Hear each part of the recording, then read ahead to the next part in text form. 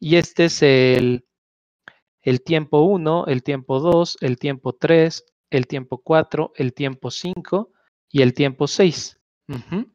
Y entonces se cumplía que todos, antes de que tú pasaras a destruirlo, o sea, este lo destruías en el 1, en el 2, en el 3, en el 4, o sea, este en el 1, en el 2, en el 3, en el 4, en el 5, en el 6, entonces todos los destruías a tiempo.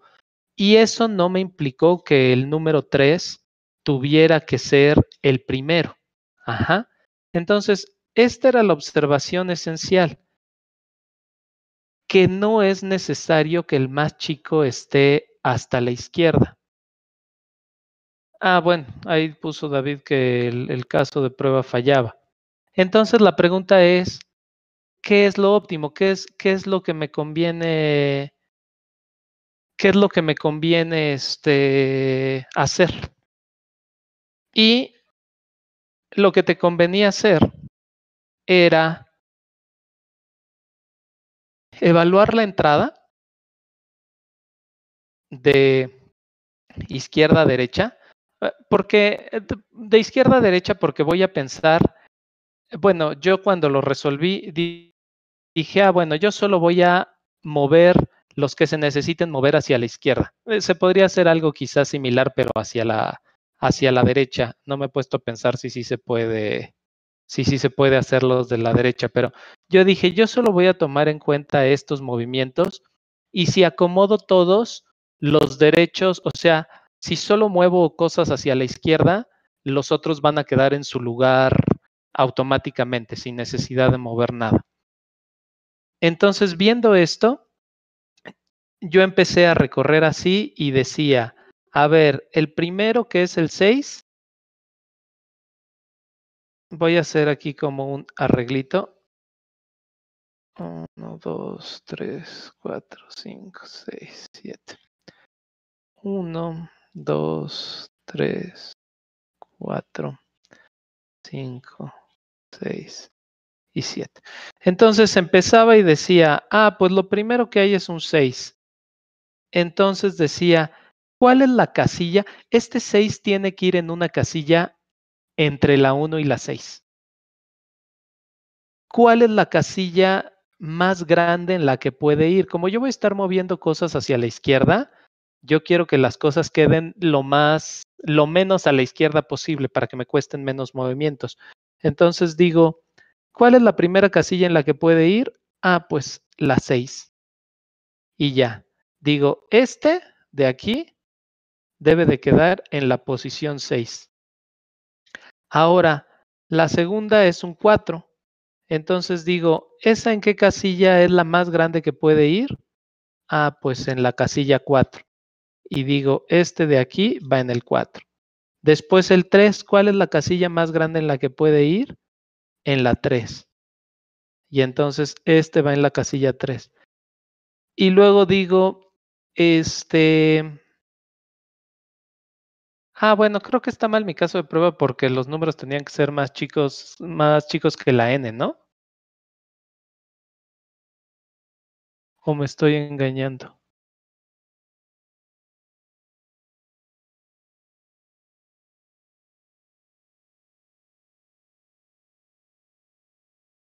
Sí, las, las D son menores que la N. Sí, porque dije, ah, caray, esto no salió. Bueno, aquí son seis números y siete, entonces vamos a meter aquí un uno a la mitad. Y este, y entonces digo, ah, luego sigue este uno. ¿Cuál es la casilla más a la derecha que puede ir? Esta. Y luego sigue un 7. Y digo, ah, ¿cuál es la más a la derecha que puede ir? Esta. Y luego sigue otro 7. ¿Cuál es la más a la derecha que puede ir? Esta y luego sigue otro 7. ¿Cuál es la más derecha, a la derecha que puede ir? Esta. Y entonces esto me decía, esta tiene que ir en la 1, esta tiene que ir en la 7, esta tiene que ir en la... ¿Cuál fue? La 5, esta tiene que ir en la 2. Ajá. Y ya que tenía esos, ya que tenía estos números, bueno, a ver, hasta aquí, ¿Todo mundo le queda claro por qué hice eso? ¿Y cómo lo podrían hacer? O sea, ¿por qué lo hice y cómo lo podrían implementar? ¿Cómo lo implementarían?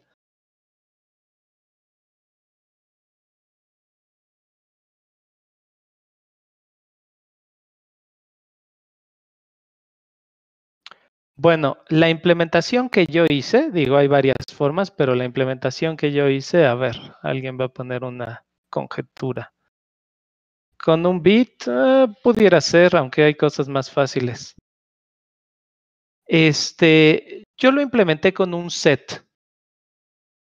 O sea, yo lo implementé con un set en donde lo que dije es, empiezo y al set meto del 1 al n y ese set me representaba las casillas libres.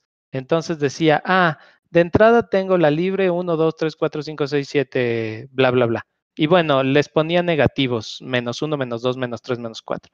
Y luego cuando llegaba un 7, le decía cuál es el lower bound de menos este valor. O sea, cuál es el primer número mayor o igual que este aunque como les puse negativos, en realidad sería el primer número menor o igual que el que estoy poniendo. Entonces, con eso, como el set representa las casillas libres, o sea, espacios libres,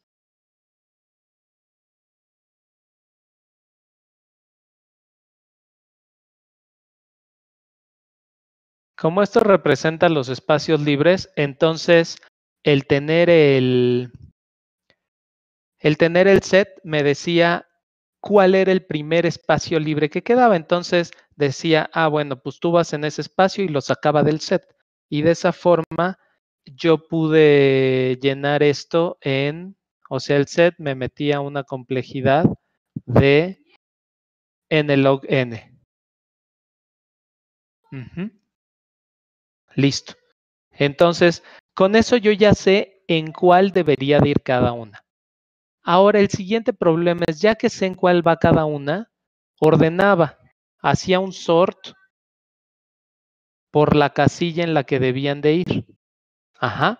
Porque primero quiero mover el que está hasta la izquierda. O sea, el que está hasta la izquierda, que en este caso es el 1, es el primero que quiero ir moviendo para allá. Entonces, ahí el problema es decir, ah, tengo un 1, ¿En dónde está originalmente? En la posición 4. Entonces lo tengo que mover tres lugares. Tres lugares y voy sumando a mi resultado un más tres. Ah, esta clase está quedando muy desordenada. Voy a tratar de ser más ordenada en el siguiente problema. Este. Y después tenía que decir, ah, bueno, ¿cuál es el que va en la posición 2? En la posición 2 va este. Pero ojo, ¿ese en qué posición está ya ahorita después de haber movido el 1?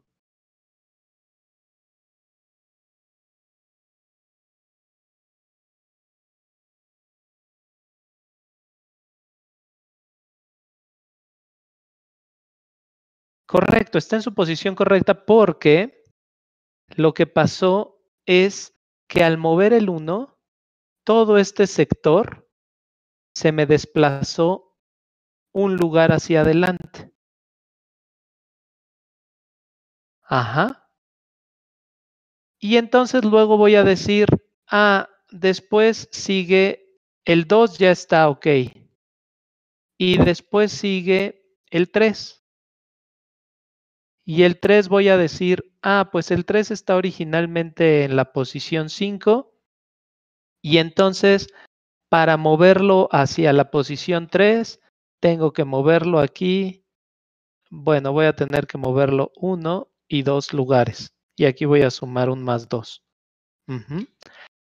Pero ese haberlo movido dos lugares hizo de nuevo que estos de aquí se me movieran otro lugar para allá.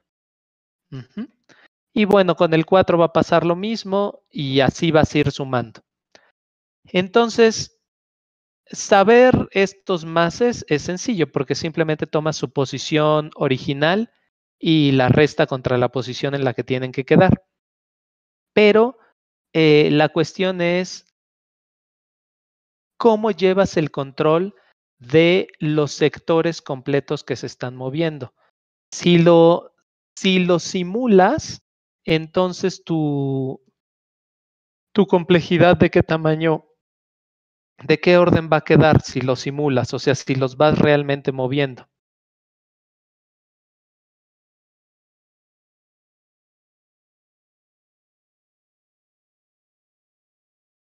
Mm, bueno, tienen que ser más veloces en el cuadrado.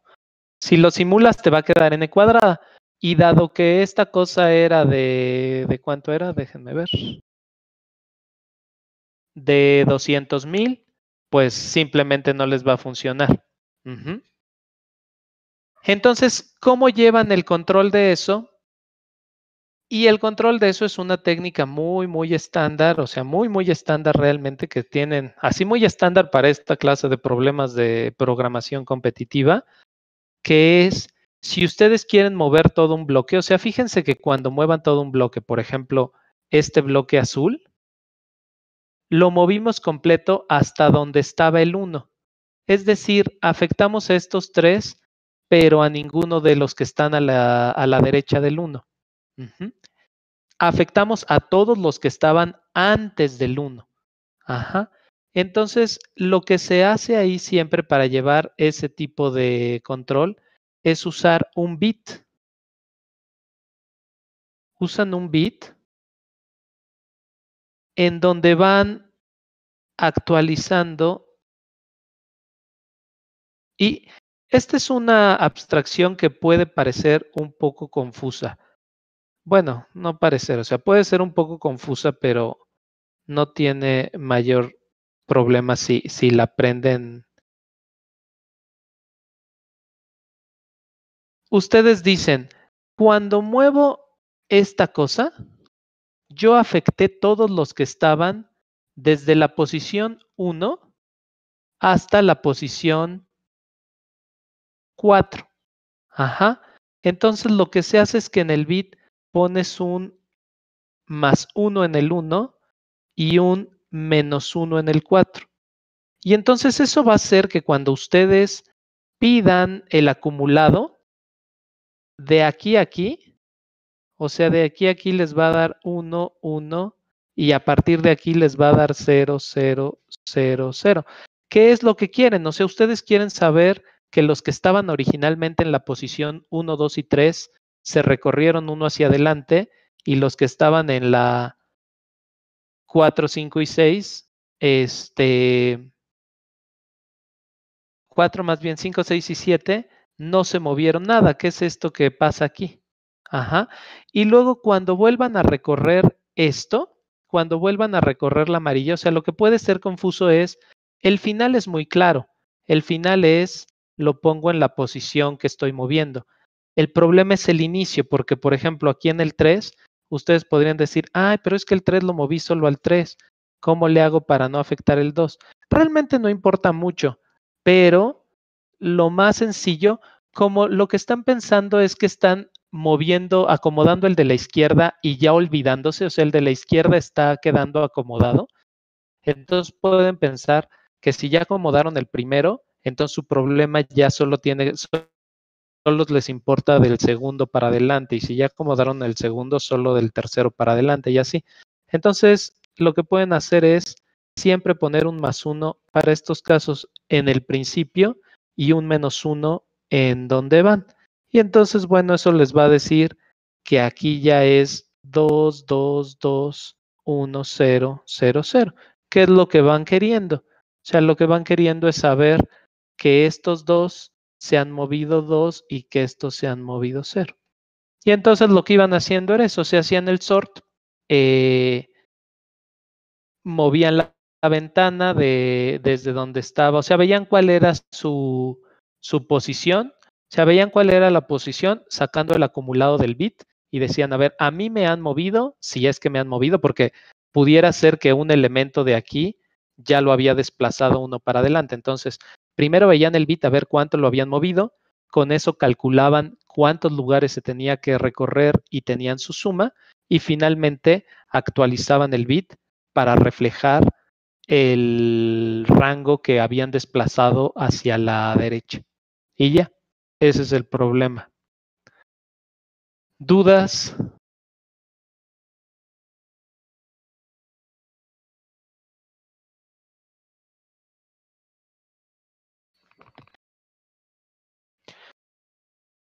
Bueno, lo importante aquí es, o sea, de las cosas que tienen que, así como los tips, de las cosas que tienen que ver, e, este era un algoritmo greedy, pero que tenían que ver dos cosas.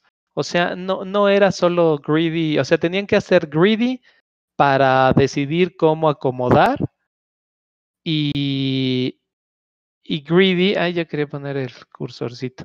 Bueno, tenían que hacer greedy para decidir cuál era el mejor, el mejor este, acomodo y greedy para saber cuál era la mejor forma de intercambiar. Entonces, e, eso es lo que lo hacía un poco más difícil, que tenías que ver dos cosas en vez de solo una y, creo que intuitivamente muchos se fueron con la idea de solo una. Este, pero la cosa importante es que esto sí se parece bastante al de Shoes y en teoría les han dado el, el de Shoes. Entendiendo el de Shoes, o sea, me, queda claro que lo que les falló fue el acomodo óptimo. Puede ser porque no vieron que esto, que esto podía ser, o sea, que el acomodo no tenía que ser así, o porque no entendieron que el de Shoes dependía de encontrar primero el acomodo óptimo. Lo que pasa es que en el de Shoes quizá es muy simple ver el acomodo óptimo porque en realidad no importa, es, como te lo dieron, o sea, no tienes que acomodar nada. Y en este sí tenías que acomodar. Entonces, estrictamente este problema era más difícil que el de Shoes. Pero mi, mi comentario es, cuando vean soluciones, sí hagan el mayor, mayor esfuerzo por entenderlas a profundidad. De modo que cuando vean algo similar dicen, ah, esto se parece al de Shoes, pero no puedo aplicar directo el de Shoes hasta no encontrar cuál va a ser el acomodo óptimo. Y entonces su problema se convierte en resolver este, que ese sí era un greedy, nada más con una estructura, un set que les permitiera hacer el, o en el login, o sea, era un problema más como de implementación a mi gusto. Y ya que tenían este, decían, ah, entonces ahora mi problema se transforma en shoes, que es la idea de shoes era utilizar este bit, pero era algo ya conocido. Entonces, hagan su esfuerzo por, a veces la primera vez que te lo explican parece que te quedó bien y después lo olvidas y cuando lo tratas de implementar te haces puras bolas.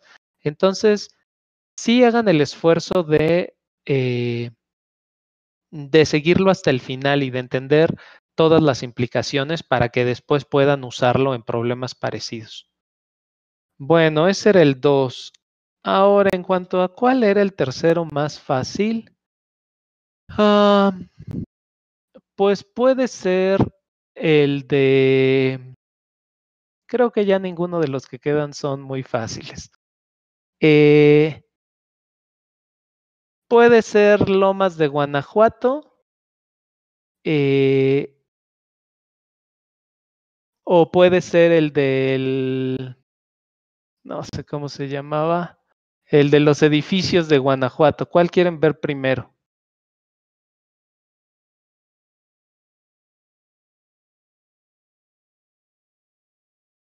Lomas, Lomas, Guanajuato. Todos son Guanajuato. ¿Qué van? Tres lomas. Y van quién sabe por cuál votó. Y dos edificios. Bueno, pues Lomas entonces. Este. Ah, los vamos a ver todos, o sea que. A ver, pues. El de Lomas de Guanajuato.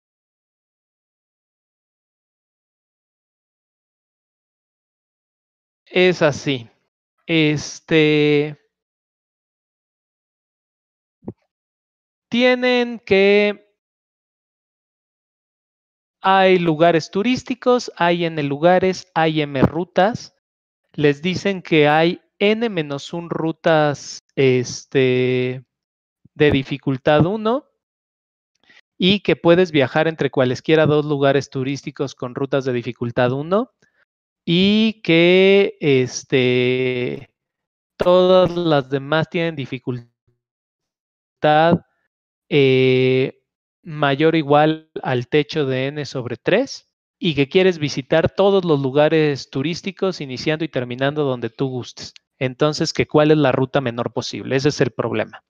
Eh, la primera cosa es que el de dónde rayos sale el...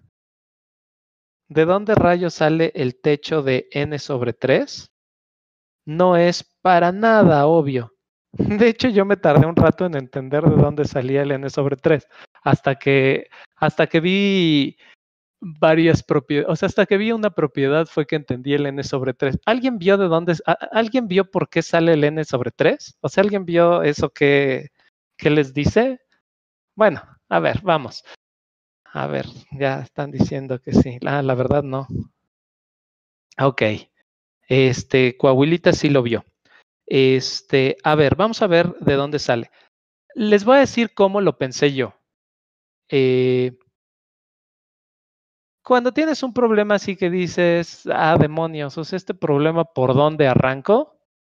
Yo lo que hago es empezar, bueno, primero ver como todas las informaciones que te dan del problema que parecieran eh, ser atípicas que te las expliquen o que tenga la estructura del problema y después, este, eso hago primero y después saco pistas de los casos de, de los diferentes grupos.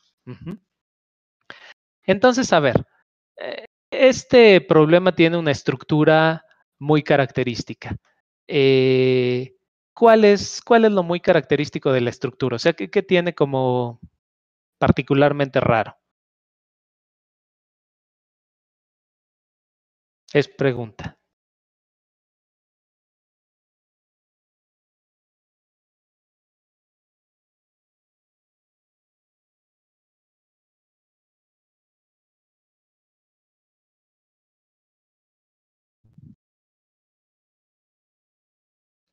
Que puedes ir a cualquier punto por los caminos de uno, es correcto. O sea, eso es como, te dan un grafo, pero te dicen, este, sí, así es. O sea, te dicen, lo que te vamos a dar es un grafo, pero resulta que el grafo tiene un árbol adentro y ese árbol tiene las rutas más pequeñas posibles.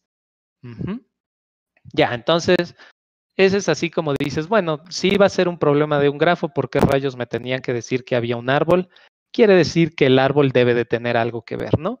Entonces yo, por ejemplo, lo primero que pensé es, dije, bueno, vamos a resolver el problema exclusivamente con el árbol.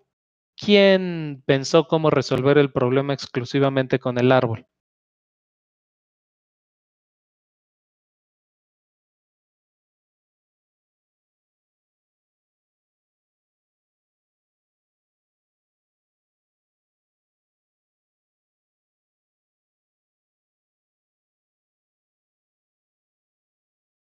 Ok, a ver, e efectivamente, o sea, igual, yo lo que hice es dije, bueno, voy a resolver con el árbol. Vamos a pensar que tienen un árbol.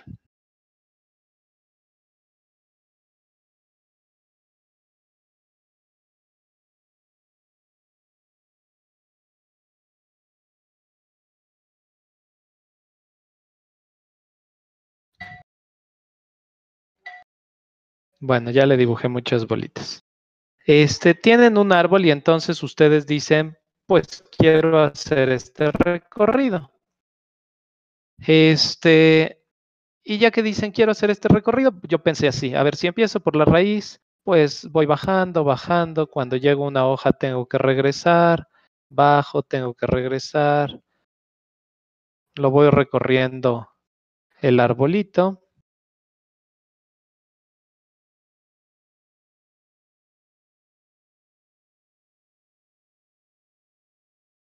Y listo. Voy a poner estas líneas en color azul. Entonces, hacer ese recorrido, como en el árbol todos son una, ¿cuánto me costó? ¿Cuánto me costó hacer ese recorrido? A ver, pongan la respuesta en lo que le dibujo flechitas. O n, no, no en complejidad, sino realmente en costo.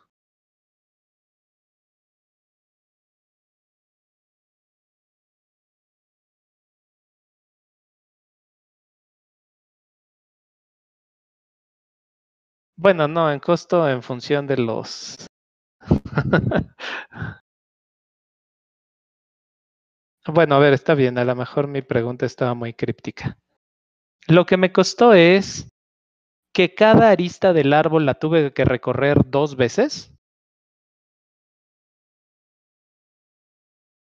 O sea, las rojas las tuve que recorrer dos veces y las azules las tuve que, que recorrer una. ¿Por qué las azules las tuve que recorrer una? Ah, bueno, sí, ahí está. Este, el número de aristas por dos menos los que recorres solo una vez. Entonces, dado que los que recorres solo una vez eh, son los que ya no tuviste que regresar porque ya, ya no había nada, era como la última rama del, la última rama del, de la búsqueda en profundidad del árbol. Entonces, y, todos los demás forzosamente los vas a tener que recorrer dos veces. Entonces, la solución del árbol eh, más o menos brinca a la vista. ¿Qué es lo que quieren hacer para encontrar la solución con un árbol?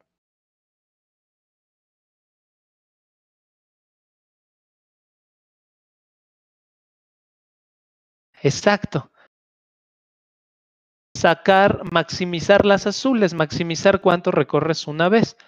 Y como lo que recorras una vez va a ser, ¿les queda claro que lo que recorras una vez va a ser la rama más larga desde la raíz? Bueno, si lo recorren en el orden adecuado. ¿E-, ¿Eso lo alcanzan a ver todos? Les voy a decir por qué. O sea, ustedes cuando un nodo, e, e, el, concepto es este. Si un nodo tiene varios hijos y ustedes pasan por ese nodo, entonces van a recorrer hacia acá y luego van a tener que regresar para recorrer el siguiente hijo y regresar y así hasta que sea su último hijo. Y su último hijo ya no tienen que regresar porque como ese nodo ya no tiene nada que, este, nada donde volver, ya, ya nunca van a tener que volver ahí. Entonces, quiere decir que desde la raíz va a haber una ruta, una ruta de azules a las que ya nunca van a tener que ir regresando. Ajá. O sea, los nodos que estén aquí ya no tienen que ir regresando. Eh, de lo que dice Coahuilita, podrían ser las dos más largas si empezaras desde una hoja. Ahora, esta cosa, esto, es un concepto estándar en árboles. ¿Ubican qué concepto es?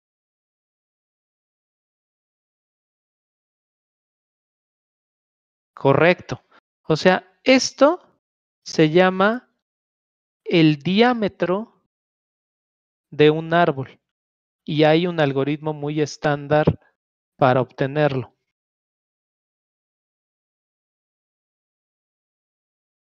Ajá, entonces, a ver, primer paso para resolver esta cosa, decir, me fijo en el, me fijo en que tiene una cosa rara que es un árbol. Entonces cambio mi problema a resolver el problema del árbol.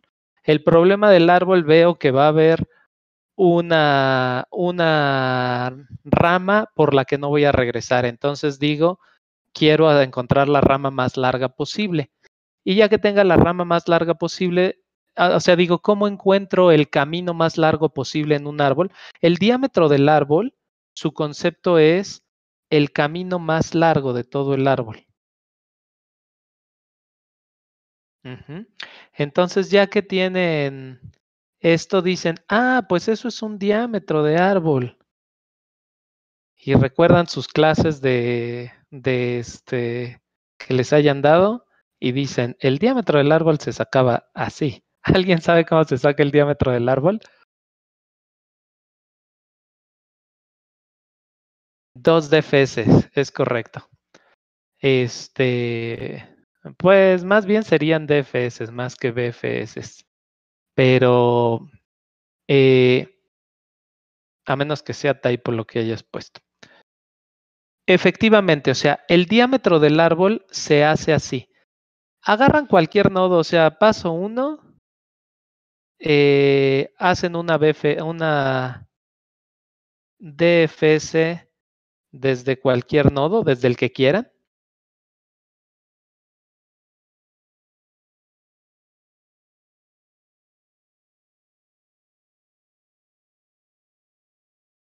Y este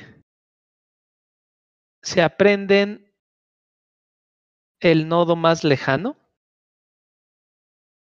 O sea, van en la DFS van van poniendo el nivel en el que encuentran cada nodo. Y este Ok, se aprenden el nodo más lejano. Puse más nivel porque estaba hablando. El nodo más lejano. Y luego hacen otra DFS.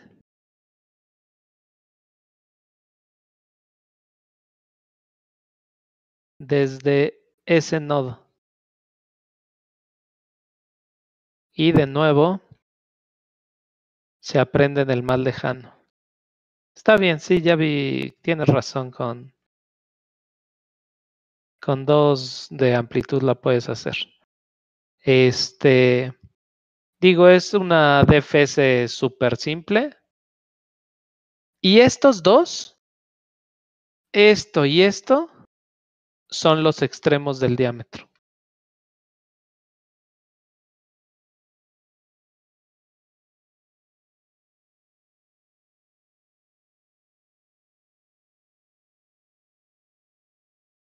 Les voy a dejar de tarea, pero realmente háganlo, o sea, realmente inténtenlo, porque no, es, no es algo, no es este, tan complicado de ver por qué.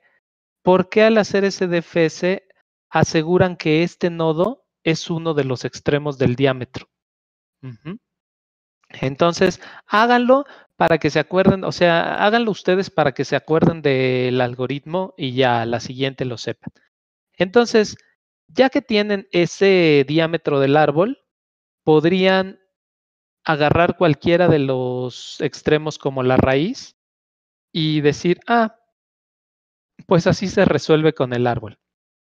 Eh, y listo. Si hacían esa solución y la mandaban, obvio que esa solución solo usa las de uno, pero yo lo siguiente que, este, que hacía es decir, ah, hago esta solución y la mando. Y entonces resulta que este, resulta que esa solución les daba ni más ni menos que ocho puntos. Y entonces al ver que les daba ocho puntos, ¿qué conclusión hubieran sacado? Y a ver, les voy a decir, este, esa solución, ah, los casos había cuatro puntos, seis nodos y diez aristas, ocho puntos, veinte nodos y cuarenta puntos, cuarenta aristas, perdón, ocho puntos, cinco mil nodos, diez mil aristas, y los pesos eran uno o n entre dos, o sea, mayores a n entre dos. Luego otros ocho puntos eran 500 y 100 y ya. Entonces, ¿cuáles ocho creen que son los que sacó esa solución?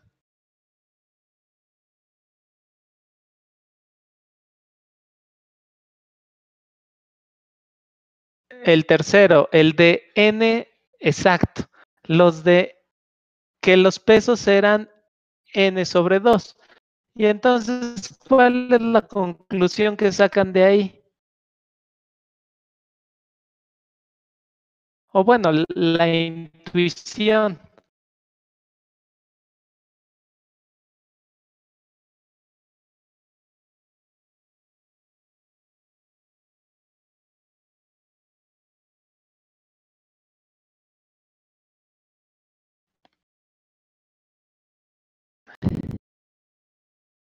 Bueno, les voy a decir cuál fue la conclusión que yo saqué. Hasta este momento, o sea, hasta este momento de esto, primer análisis, yo no sabía de dónde salía el n sobre 3. O sea, hasta aquí yo no sabía de dónde salía el n sobre 3. Pero cuando esa cosa dio 8 puntos, entonces fue que dije, oh, voilà, aquí está la, aquí está la razón. Quiere decir que hubo un subconjunto de casos que yo resolví sin usar ninguna arista. Y casualmente ese subconjunto de casos me dijo que eran los que tenían eh, todos sus pesos de las aristas fuera del árbol mayor o igual al techo de n sobre 2. Eso quiere decir que para esas, como, como dijo Fer, o sea, para los de n sobre 2, nunca me van a servir. Ajá. Y entonces después de eso yo dije, bueno, ¿y por qué no sirven? Quedamos que lo que ustedes tenían que buscar era una rama lo más larga posible que tenía bifurcaciones por allí y por acá, ¿no? Pero esa rama más larga es por la que nunca iban a regresar. Entonces, ahora, ¿qué pasa cuando ustedes agregan una arista al árbol? Dicen, ah, pues si yo tengo, bueno, así lo pensé yo, eh, después se puede formalizar distinto, pero si yo tengo esta arista larga, voy a suponer. Así eh, les digo, esta no es la generalización, pero así lo pensé para que vean cuál fue la intuición. Y yo uso una arista fuera del árbol a otro nodo. Después puedo usar la rama más larga a partir de ese nodo. Y entonces los caminos que no voy a tener que regresar son estos que ya tenía de la rama más larga, luego uso la arista y estos de aquí ya no tengo que regresar. Bueno, a ver, lo voy a poner distinto porque creo que se puede entender mejor así. Como esta, esta rama más larga, todos los demás nodos venían de alguna, alguna bifurcación, Voy a, poner aquí así. No es el único caso, hay muchos más casos, pero voy a poner este primero. Entonces quiere decir que yo puedo bajar. Cuando llegue aquí, no me voy a bifurcar como lo hacía normalmente, sino que sigo. Luego tomo la arista con el peso diferente y finalmente termino para acá. Es decir, es como si este camino me hubiera permitido extender mi rama más larga. ¿Hasta ahí todos ven lo que, lo que digo?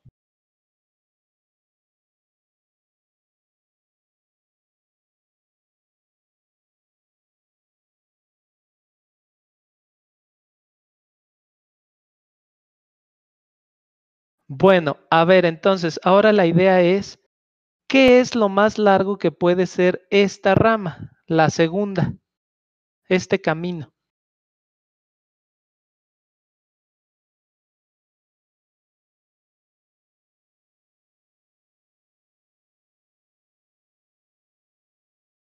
n-1, ¿no? Porque si fuera n-1, el diámetro del árbol había sido n-1, ¿no?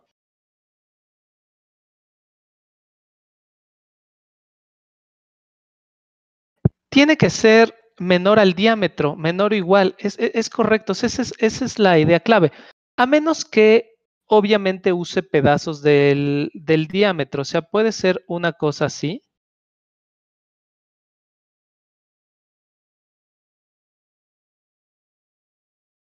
Y si se fijan, con esta idea hice esto, tras, tras, tras, y un pedazo del diámetro ya lo recorrí dos veces, ¿no? Quiere decir que el caso óptimo el caso óptimo es que tenga un diámetro, lo recorra todo completo y luego este se extienda a otra cosa que mida que esta distancia sea la máxima posible. Pero como el diámetro es la ruta más larga, esta distancia es menor o igual que D. Ajá. Entonces, si yo pensara así como en el peor, en, el mejor caso más bien, en que digo, si esta tiene que ser menor o igual que D, el mejor caso es que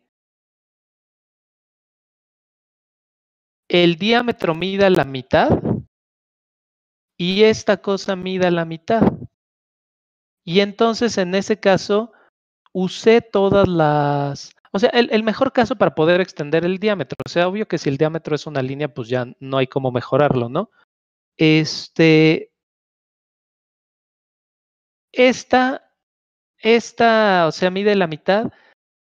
Y como esto mide la mitad, entonces si los pesos de estas aristas siempre son mayores a el techo de n en 2, entonces nunca me van a nunca me van a mejorar mi árbol, no importa lo que pase. O sea, porque en el mejor caso que era vamos a llamarle al diámetro original, porque así le puse cuando lo codifiqué, columna, porque estaba pensando como en una columna vertebral.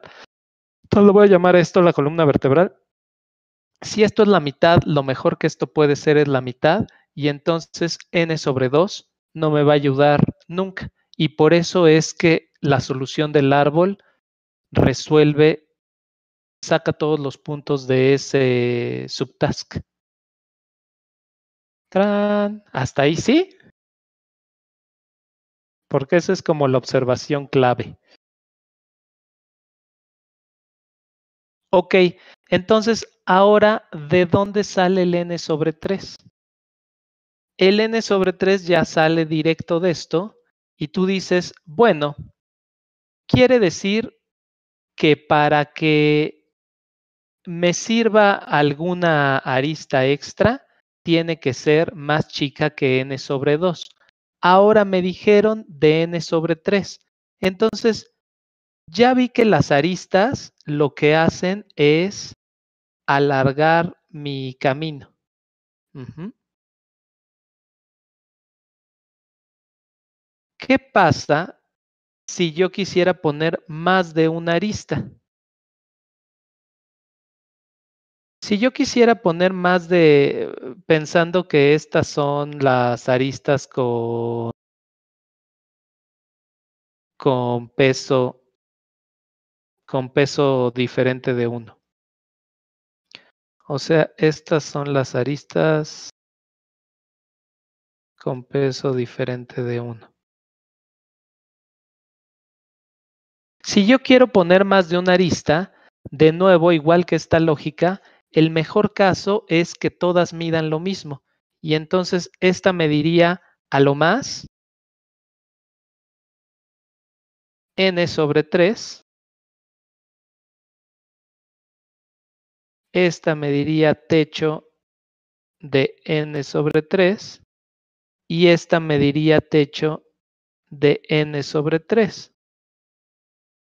Pero si miden techo de n sobre 3 y las aristas con peso diferente de 1 miden más que eso, entonces quiere decir que ninguna de las aristas me ayudaría porque le agrego n sobre 3 solo para disminuir los visitados en n sobre 3. Entonces, lo que esto implica es que a lo más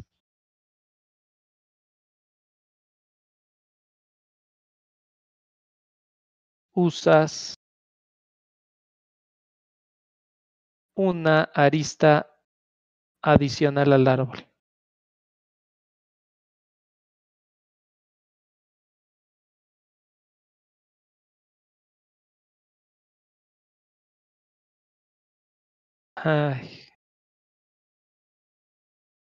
Y entonces con esta observación ya tu problema se vuelve en, tengo un árbol de esta forma al que le puedo agregar solo una arista. Uh -huh. Este,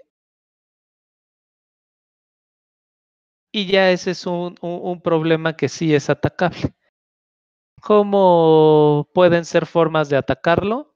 Digo, hay varias. Bueno, no, no sé si hay varias, pero por lo menos a mí se me ocurrieron dos.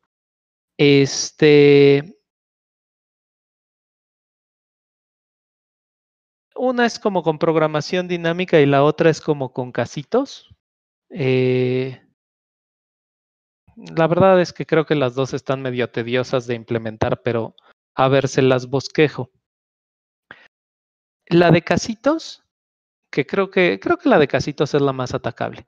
La de casitos es que ustedes empiezan sacando, o sea, van a necesitar varios datos. Van a sacar su columna vertebral, el diámetro.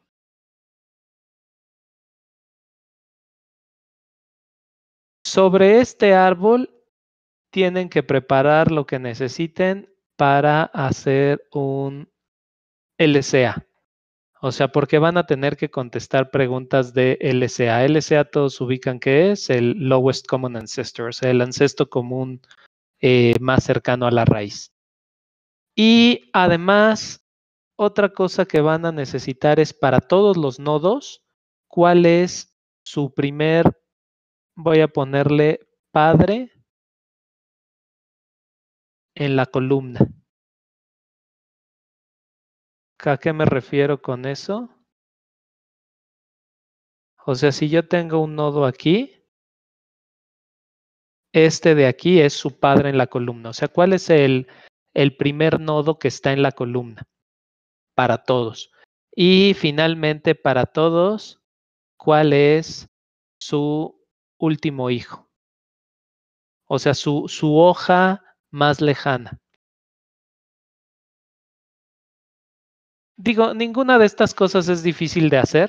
De hecho, en el DFS, en donde sacan la columna vertebral, pueden muy fácil en el regreso saber quién es tu padre en la columna y este, bueno, más bien en la ida y en el regreso saber cuál es tu último hijo. Y el LCA, bueno, pues lo pueden hacer como quieran.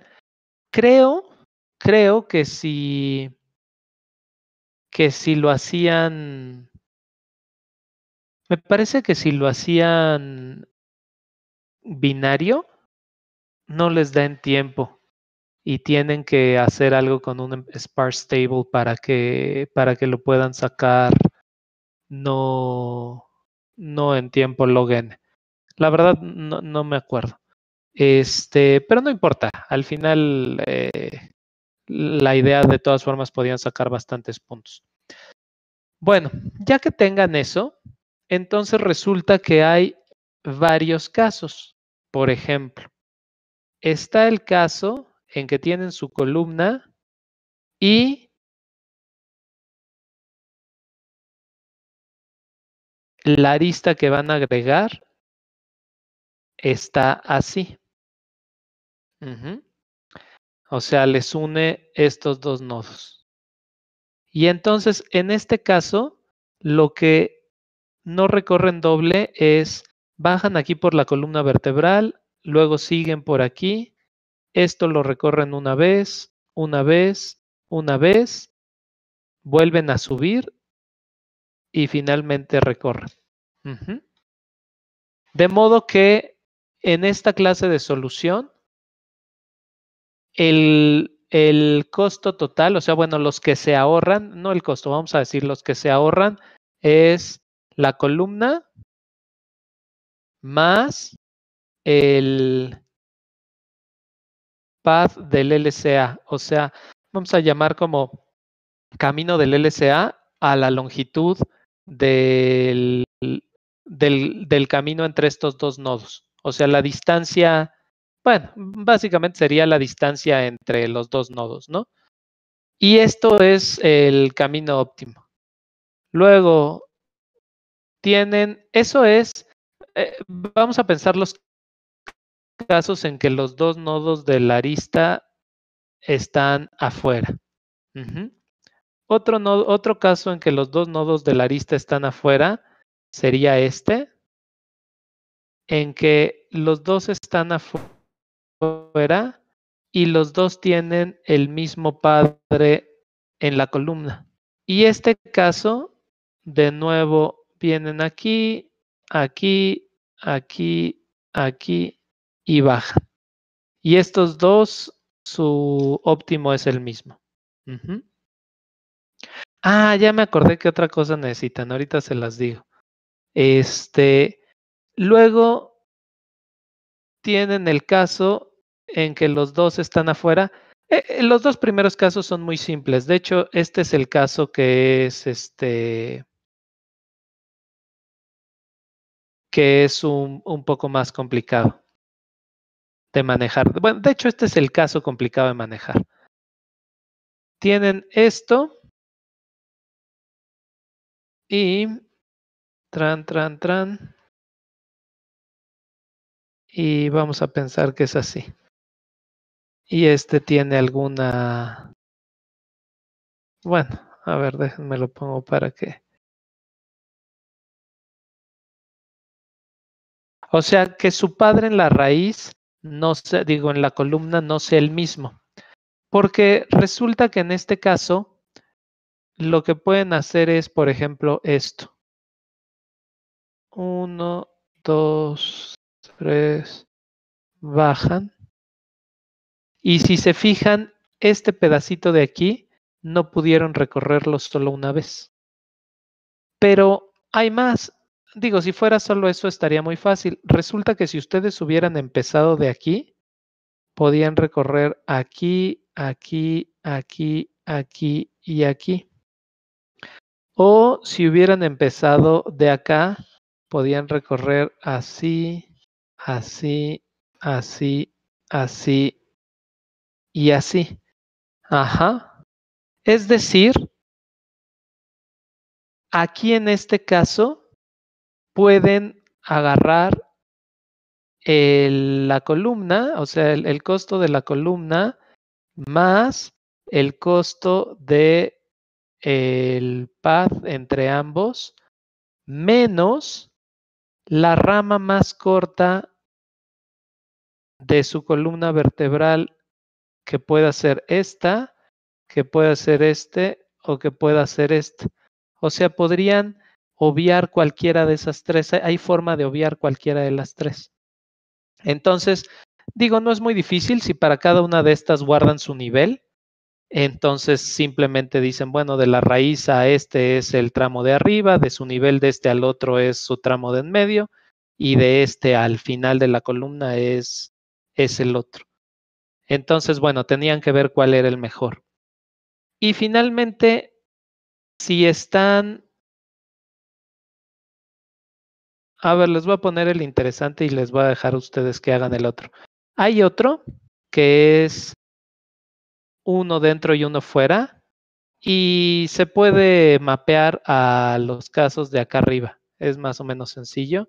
Pero el, otro interesante, o sea, los dos interesantes son este, porque podías obviar los tres, y en el que los dos nodos de la arista estén en la columna vertebral. Porque si los dos nodos de la arista están en la columna vertebral, entonces resulta que podría haber otro camino que fuera del mismo tamaño del, que, que la columna vertebral y que lo que conviniera fuera este hacer esto. Agarro este, avanzo una, agarro este. No, lo empecé mal.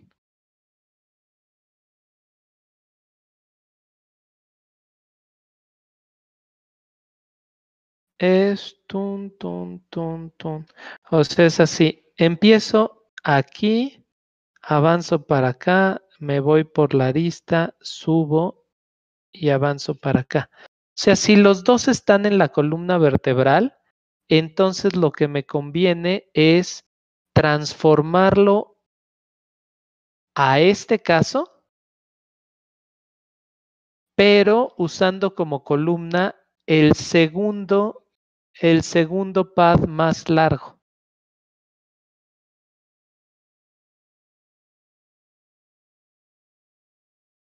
Y para hacer eso lo que podían haber hecho era sacar su columna, quitar esas aristas y luego hacer otro, otro diámetro del árbol con las aristas que quedaban y saber cuál era su segundo. Y ya, ese, esos casillos eran la solución del problema. Digo, simplemente tienen que tener cuidado, pero si pueden contestar rápido estas cosas, o sea, quién es el padre en la columna, de qué nivel soy y cuál es el LCA, eh, pues los pueden codificar y ya irse quedando con el mejor en estos casos, ¿no?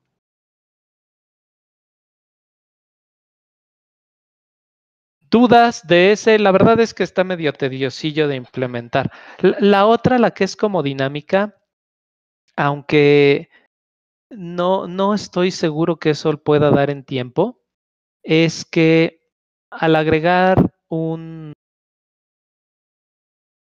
una arista, se forma un ciclo, forzosamente se va a formar un ciclo en el árbol. Y entonces ahora quieres el camino más largo entre, bueno, y esto tiene aquí así como bifurcaciones este ciclo. El camino más largo en un pedazo este del ciclo, tomando, bueno, la idea es que sea algo que tome siempre este, este tramo, el tramo de que acaban de agregar. Y puede ser su camino más largo en uno de estos o su camino más largo aquí que si se fijan es exactamente a un problema que vimos eh, parecido cuando hicimos lo de Rusia. Es casi igual o prácticamente igual que el problema de Islands de Egipto del 2008 y también parecido a lo de Rusia. Pero me parece que esto no les va a funcionar en tiempo porque va a ser lineal contra el largo del ciclo y entonces se va a volver cuadrado pero también sería una forma de solucionarlo si ya han hecho este problema para, para casos más pequeños. Bueno, entonces, a ver, de este problema, vamos bien, vamos una hora y media y tres problemas. Este, tips de esta cosa, o sea, cuando es un problema como este en que te dan un n sobre 3 y no sabes ni qué, pues yo lo que hice fue decir, bueno, a ver, hay una cosa muy particular que es el árbol, entonces primero vamos a, tratar de resolverlo con el árbol y ya que lo resolví con el árbol, lo mando a ver si saco algunos puntos y entonces como si sacan puntos, ese punto dice, ah, pues quiere decir que si es n sobre 2 no necesito ninguna. Me da la intuición de esta cosa de aquí y de esa intuición hay una forma de llegar al n sobre 3, porque la verdad es que llegar al n sobre 3 sin esta observación está bastante difícil. Pero entonces ya que ven eso, ven la observación del n sobre 3 y dicen, resulta que solo tengo que hacer una arista adicional y entonces ya el problema ya se vuelve un problema que si bien no es fácil, o sea, no es fácil, e-, este problema bien podría estar en una IOI ya ser el problema, pues uno de los medios. Este, por lo menos ya hay de dónde rascarle, ¿no? ¿Listo? ¿Todo ok? ¿Qué? ¿Quedaste cerca o no?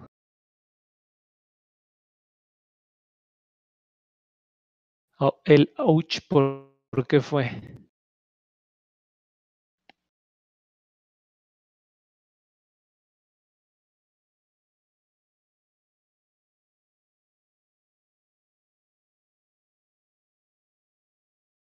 No está tan pesado, ¿eh? O sea, bueno, sí, pues sí, quizá 200 líneas. y, tener cuidado en los casitos. Sí, no, no, no está. Eh, la verdad, no sé si haya una forma más fácil. Yo esa fue la que pensé y este, y pues listo. Pero sí, sí, sí está tediosín de implementar, aunque lo cierto es que pensando en un examen de cinco horas ya así nivel IOI, a lo mejor los dos primeros podías haberlos hecho entre una hora y media y dos y, y tenías de tres horas y media, de tres a tres horas y media para hacer este. Sí, sí, o sea, sí, encontrar bugs ahí no está fácil. Entonces, problemas que ya son más difíciles tienen que tenerlos perfectamente planeados antes de quererlos implementar. Eh, ok. Que en mi mate tuve un upper bound de dos aristas de peso mayor a uno. No te entendí el comentario de, o sea, como que, bueno, si quieres luego me explicas para no, no desviarnos. A ver, entonces pasemos al, al que sigue. El que sigue era edificios de Guanajuato. Ah, les voy a bosquejar mi idea. Yo hice una idea, implementé una idea que daba como 79 puntos y tengo una tengo como, según yo, hacer lo que debe de estarte cerca de 100. Pero este, la verdad ya no lo implementé para probarlo si sí daba los 100. Entonces, a ver. Esta cosa era de que tenías que, que encontrar un camino que pasara por todos los nodos el grafo era completo y las aristas estaban coloreadas de rojo o azul y tú tenías que encontrar uno que cambiara de color a lo más una vez. Bueno, todo el mundo se acuerda del problema. Ah, este es así como igual, otro problema en que de entrada puedes decir, oh, ¿por dónde empiezo? La ventaja primera es que eh, no te están pidiendo el óptimo, sino que te están diciendo, con que entregues algo que funcione, te vamos a dar puntos. Eh, y además, si, si, si saben, si, si han, tienen un poco más de experiencia, encontrar en un grafo un camino que pase por todas las o el camino más largo es este un camino hamiltoniano y es un problema es un problema de dificultad NP. Entonces no hay una solución polinomial. Entonces tú dices, bueno, esto me están pidiendo algo parecido a un camino hamiltoniano. Eh, es un grafo completo, probablemente tenga características distintas o pueda ser un caso especial, pero me están diciendo que me van a, dar puntos, mande lo que mande. Eso quiere decir que debe de ser difícil de entrada encontrar el óptimo. Entonces, ¿qué deben de hacer en ese caso? Decir, pues voy a tratar de mandar algo a ver, o bueno, no de mandar algo, más bien voy a tratar de encontrar algo que, que pueda dar puntos a ver si encuentro una estructura. El problema tiene un caso, una, una límite muy específico. Dice que si el camino tiene una longitud igual al doble de, los nodos, entonces van a sacar cero puntos. Ajá. Esa es una, una pista muy fuerte porque ¿de dónde creen que venga lo de que el camino sea el doble de los, el doble de los, que si el camino es el doble de los nodos, saquen cero?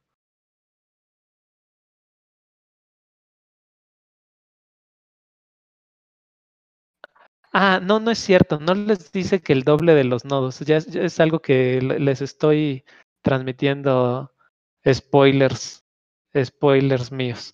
No, lo que dice es que K es la longitud de la ruta óptima y que este, si su camino mide el doble de la longitud de la ruta óptima, van a sacar cero.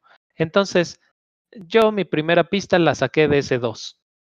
¿Por qué? ¿De dónde creen que venga ese 2? Que una bruta se puede hacer en 2n. Exacto. O sea, a ver, es obvio que no puede haber algo, un óptimo mejor a n, porque pues hay que pasar por n nodos, ¿no?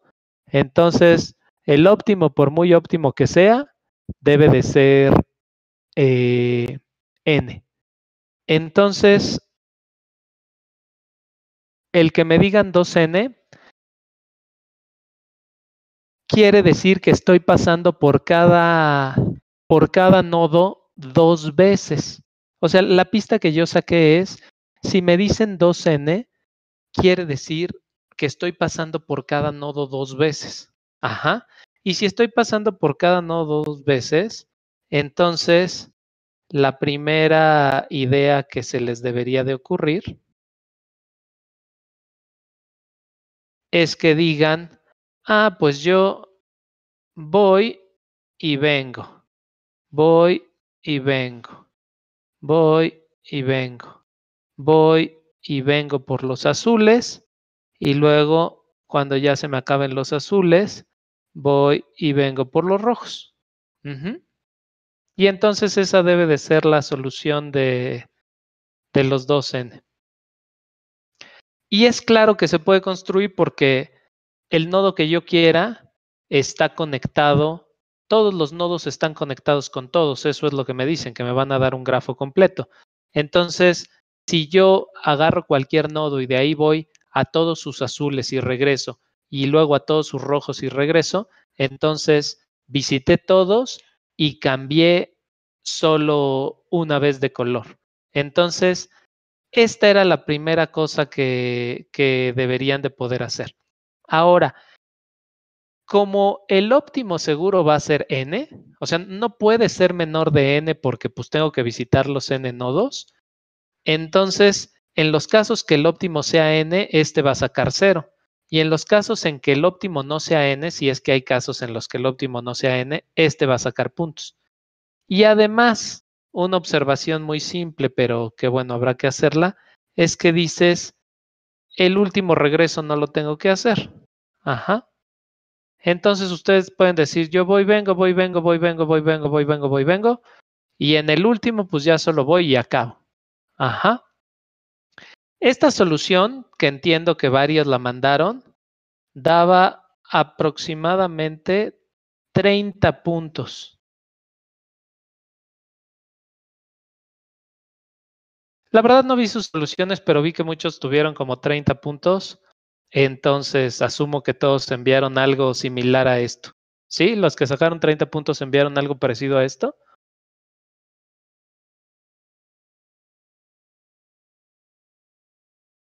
Bueno, ok.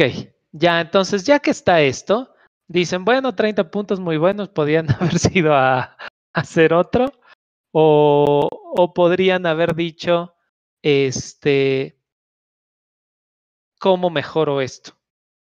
Ajá. Bueno, ahí el tip es una cosa de esta heurística, pues siempre trata, trata este, de ver cómo puedes construir algo y, siempre sean simples, o sea, en general, eh, digo, a veces en el examen las ideas simplemente no se ocurren por la presión y todo.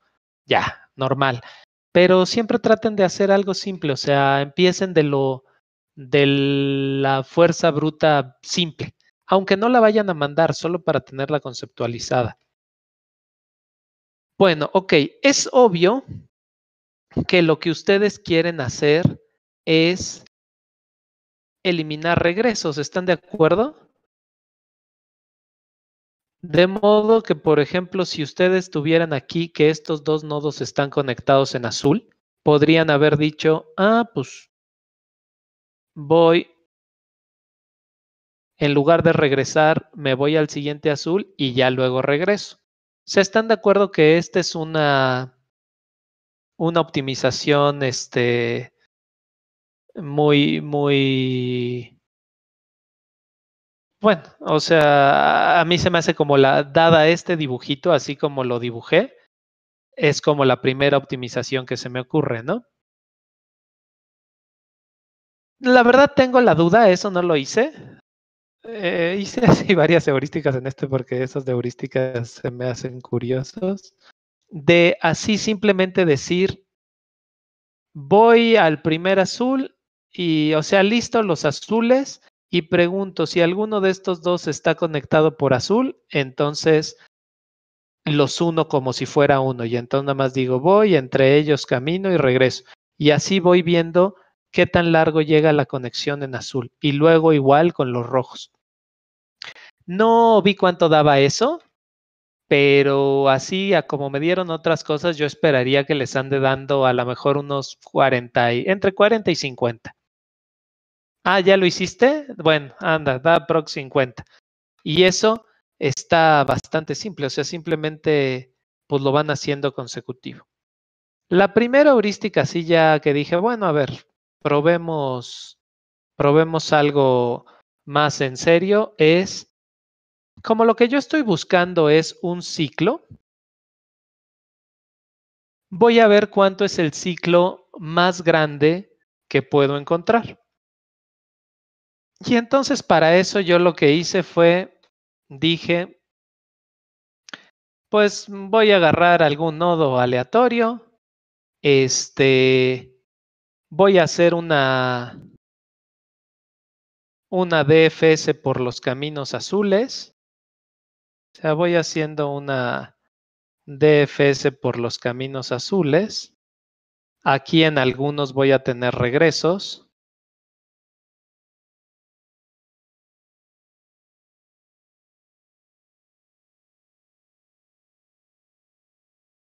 Digamos, ahí van a tener regresos y ya, hacen así una DFS normal y se aprenden cuál fue el ciclo más grande que encontraron. Y se aprenden los nodos en ese ciclo.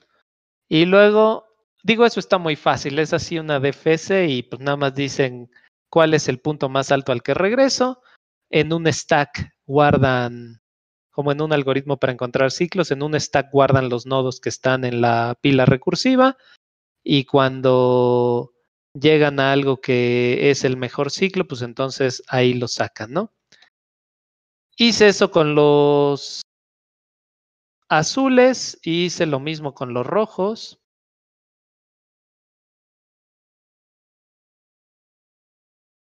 Y este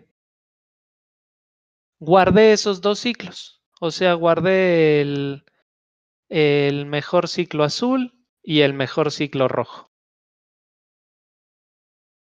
Y entonces lo que hice fue que para cada, cuando, cuando hacía cada nodo, preguntaba primero si estaba en alguno de los dos ciclos. Y si estaba en alguno de los dos ciclos, entonces lo conectaba, o sea, digamos, bueno, no. Sería, el nodo estaba en un ciclo, entonces, primero recorría ese ciclo y después iba y venía de los azules que quedaban y finalmente los que me faltaban los hacía con rojo. Ajá. Y checaba en cuál ciclo estaba, si estaba en el ciclo azul o en el ciclo rojo y ya. Esta cosa daba como 60 puntos. cincuenta y tantos medio, ya no me acuerdo.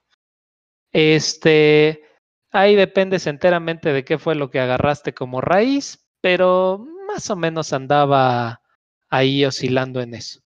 Luego hice algunas variantes, este, pero no pasaba mucho de ese, de ese tope.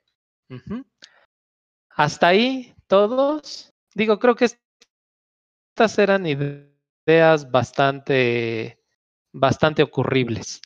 Ok.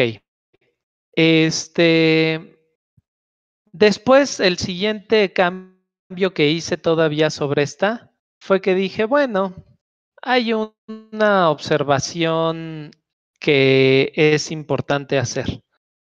Bueno, no es importante, más bien que es valiosa hacer. Y es, imagínense que ustedes tienen de, de todos sus nodos, Imagínense que I es el mejor camino, o sea, el más cortito que encontrar. Si es el mejor camino, porque era el que estaba en el ciclo más grande o lo que fuera. Entonces, ustedes, ese, ese camino de I, si se fijan con esta estructura que estamos haciendo, los caminos siempre terminan en el nodo en el que empezaron. Ajá. Entonces, el camino de I, vamos sin perder generalidad, como dicen los matemáticos, voy a pensar que empieza en azul y termina en rojo. Y entonces imagínense que yo tengo un nodo J que su camino es mayor a I, mayor al de I.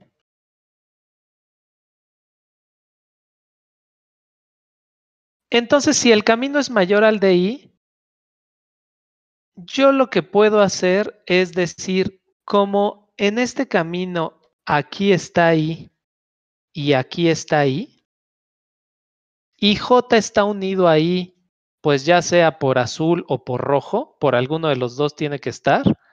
Entonces resulta que si J está unido ahí por azul, lo uno ahí y luego hago el camino de I. Y si está unido ahí por rojo, pues lo uno a este extremo y hago el camino al revés. Ajá.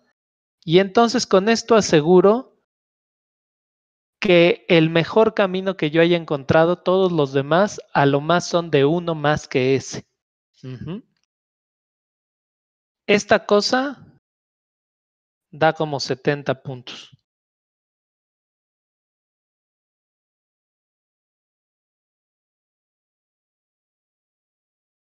Finalmente, este, y bueno, esto, esta cosa la puede... No, lo, lo, que hago es, o sea, lo que hice que daba 70 puntos es que hago esta lógica con todos, no los escribo, sino que los guardo en vectores y veo cuál es el más chiquito y entonces todos los transformo, o sea, los que fueran de esa longitud los dejo igual y los que fueran mayores los hago este chiquito y ya luego escribo. O sea, no, no es que encuentre el mejor camino desde ahí, más bien el mejor que hayas encontrado. Simplemente aseguras que eres, que te vas al mejor que hayas encontrado, ¿no? Después hice la, la, claro que a lo mejor ya esto empezaba a ser demasiado tiempo para un examen, pero les digo que estos me, me gusta ponerme a probar a ver qué van dando ciertas cosas. Este, Después se puede hacer una búsqueda en profundidad, una DFS, buscando un ciclo más largo, pero metiendo caminos rojos y azules y guardando el estado como el nodo color, o sea, guardando el pareja nodo color como estado visitado y, haciendo que solo tengas un cambio de color, obviamente, ¿no?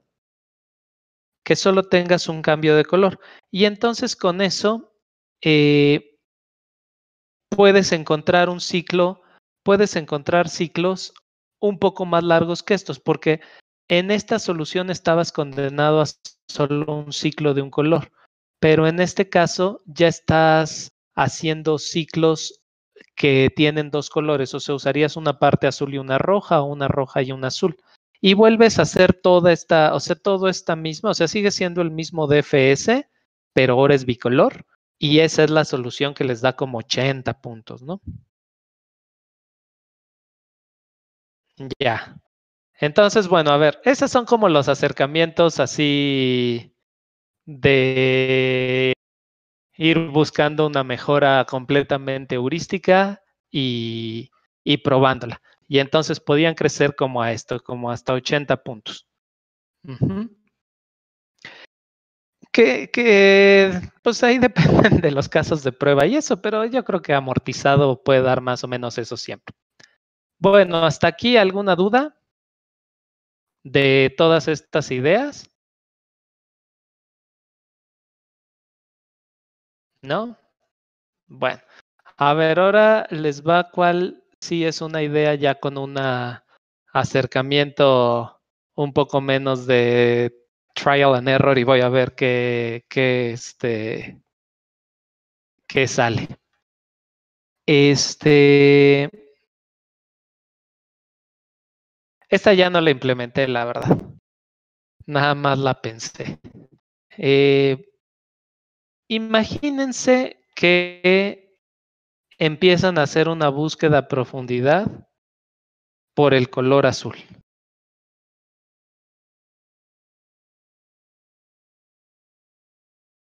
Bueno, van bajando y aquí van bajando hasta llegar a una hoja.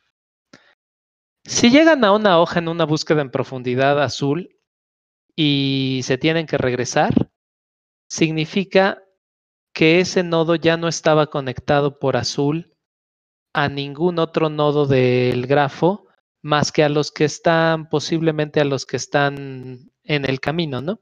Si no, no se habrían tenido que regresar. Entonces, supongan que bajan y en la búsqueda en profundidad encuentran otra rama aquí. Ah, déjame ver, porque esta cosa nada más la pensé un día mientras me bañaba, a saber si sale. Eh, si ustedes bajaron y, llegan a un punto en donde ya no hay nada más que conectarse, o sea, todo, todo lo que no esté en esta rama de este nodo está conectado por rojo. Y ustedes encuentran aquí otra rama con esa misma característica, o sea que todos estos nodos están, bueno, a, a lo mejor no, o sea, pero hasta aquí todo lo que han ido buscando y en, encontraron otra hoja que es roja. Entonces, no, no que roja, perdón, que ya solo estás conectado a rojos. Entonces, eso quiere decir que, déjenme ver, 1, 2, 3, 4. 1, 2, 3, 4. Sí, o sea, eso quiere decir que estos dos nodos están conectados por rojo, porque si no fuera cierto eso, este nodo habría seguido aquí en la búsqueda en profundidad de azul. Y estos dos están por rojo y estos están por rojo y estos están por rojo y estos están por rojo y estos por rojo y estos por rojo y estos por rojo.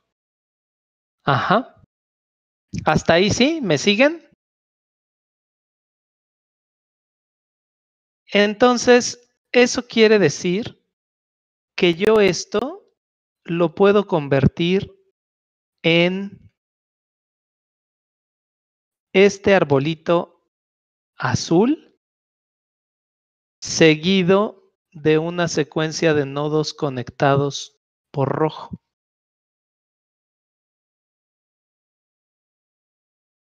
Y seguir mi seguir mi búsqueda en profundidad azul. Ajá. El punto es que cada que yo encuentre una bifurcación azul de este estilo, siempre voy a volver a poder hacer lo mismo. Siempre voy a volver a poder hacer lo mismo. Ach. Bueno, es que aquí hay que ver dónde es que te dónde es que te conviene.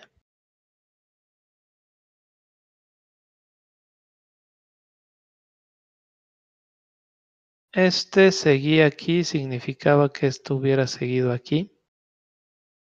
Entonces quiere decir que estos también estaban por rojo. Y... Ah, a ver. Cuando lo pensé todo parecía muy claro. Pero el punto es que debes de poder ir aquí, aquí, aquí y aquí. Ajá.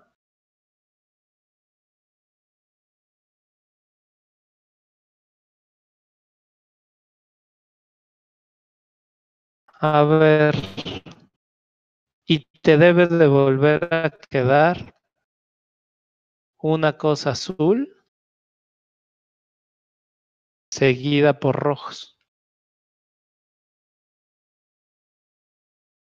A ver, ¿les hace sentido esa idea? Déjenme pensar porque aquí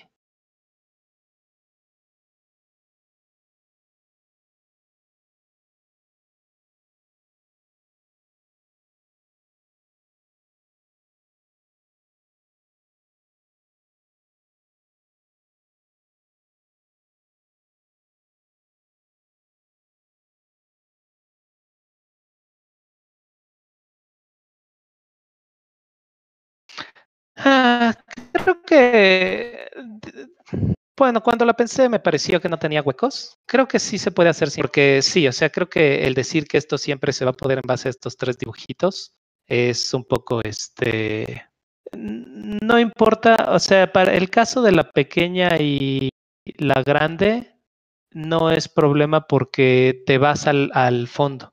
O sea, el caso de la pequeña y la grande es si tienes una pequeña así y una muy grande, de todas formas, esto agarra solo el final. O sea, porque seguro están por rojo y dejas todo este pedazo en azul. Ajá. El, el verdadero problema es, viene aquí. O sea, cuando quieres unir esta roja con estas rojas, o sea, ¿dónde lo pones para que sí pueda seguir el caminito? O sea, ¿cómo le haces para insertar esto aquí? Ajá, e, e, esa era como la, la, parte tricky. Pero, o sea, les digo, lo pensé y en mi mente dije, ah, sí, aunque ahorita ya no lo veo. Pero déjenme esta, se los hago bien y se los mando. Pero sí, o sea, estoy 90% confiado en que se puede.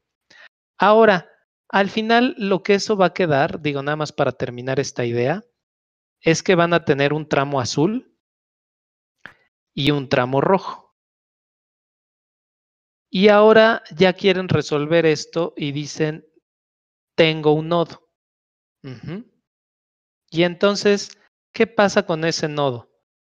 Eh, ese nodo podría estar conectado, digamos, o sea, podría ser que fuera el diablo y estuviera conectado aquí por rojo y aquí por azul, y entonces no podría meterme a ningún lado del camino, ¿no? Pero resulta que estos dos nodos también están conectados. Y están conectados por una de dos. O están conectados por rojo o están conectados por azul. Ajá. Entonces, imagínense que estuvieran conectados por rojo y este de aquí, o sea, e, e, es obvio que si este está conectado a este por azul, pues hago el caminito normal, y si este está conectado a este por rojo, pues hago el caminito normal y tan tan. El, el problema es este caso, en que este esté conectado por rojo. Entonces, si estos dos están conectados por rojo, subo aquí a este, me voy para acá y hago el ciclo ya sin llegar al último, para que sean en. Y si están conectados por azul, entonces lo hago al revés. Me voy aquí por azul, me salto para acá y regreso antes de uno antes de llegar al último. Esa parte sí la ven.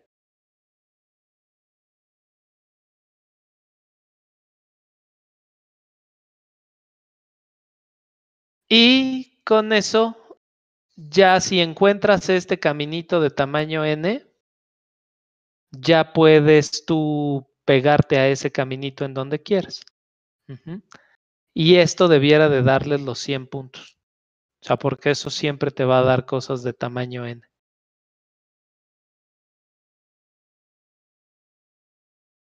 Entonces, bueno, me quedo de tarea, porque si no, no nos va a dar tiempo. Me quedo de tarea definirles esto bien. No, ese ya no lo programé. Ese lo soñé en mi este. Lo soñé un día y no me ha dado tiempo de programar. Pero lo programo y se los mando. Este. Lo programo y se los mando o les digo, no, saben qué, que era un fracaso. Este, aún así, estas ideas, o sea, estas ideas de Ah, bueno, habría que ver, habría que ver este. O sea, wrong answer no te debería de dar porque debería siempre de poner cosas válidas. Entonces, habría que ver qué fue lo que lo que programaste. Pero la lógica de construcción es hacer algo así para encontrar esto. Y en última instancia, si haces esto del camino bidimensional, aunque no sea ciclo, unido a esta cosa. Esa no la hice, o sea, pero vamos a suponer que, que entonces, si hacen el, el camino con, con la búsqueda que tome dos, los dos campos, el nodo y el color, les va a quedar un camino así de ese estilo. Entonces, este camino con esta idea de me puedo meter, o sea, cualquier nodo lo puedo meter a un extremo del camino y finalmente con el que me quede al final del camino hago esto, eso en el peor de los casos va a ser igual a este, pero realmente va a ser, debe de ser mayor. O sea, esta cosa de aquí buscaba un ciclo y daba 80, alrededor de 80.79, creo, algo así. Entonces, esta que ya no busca el ciclo, sino simplemente la rama más larga, debe de darles bastante. O sea, a lo mejor ni siquiera es necesario hacer esto y si hacen este solito, eso los acerque arriba de los 90. Y ya para que no sufran demasiado en, en, programarlo. O sea, creo que se lo podrían programar y hacer el experimento. Porque si arman este árbol, o sea, acuérdense, si arman este árbol, en que tiene todos los, los, podrían usar lo mismo que vimos en el problema pasado. O sea, si arman el árbol de la DFS que toma estos dos estados en cuenta y luego a ese árbol le sacan el diámetro, no, olvídenlo, el diámetro no, el diámetro no les asegura esto. No, olviden esa idea. Este, bueno, hay que probarlo. Y ya, yo aterrizo esta y se las, se las mando. Bueno, listo. Siguiente problema. El siguiente problema. Ya los otros dos problemas sí ya estaban un poco más complicados.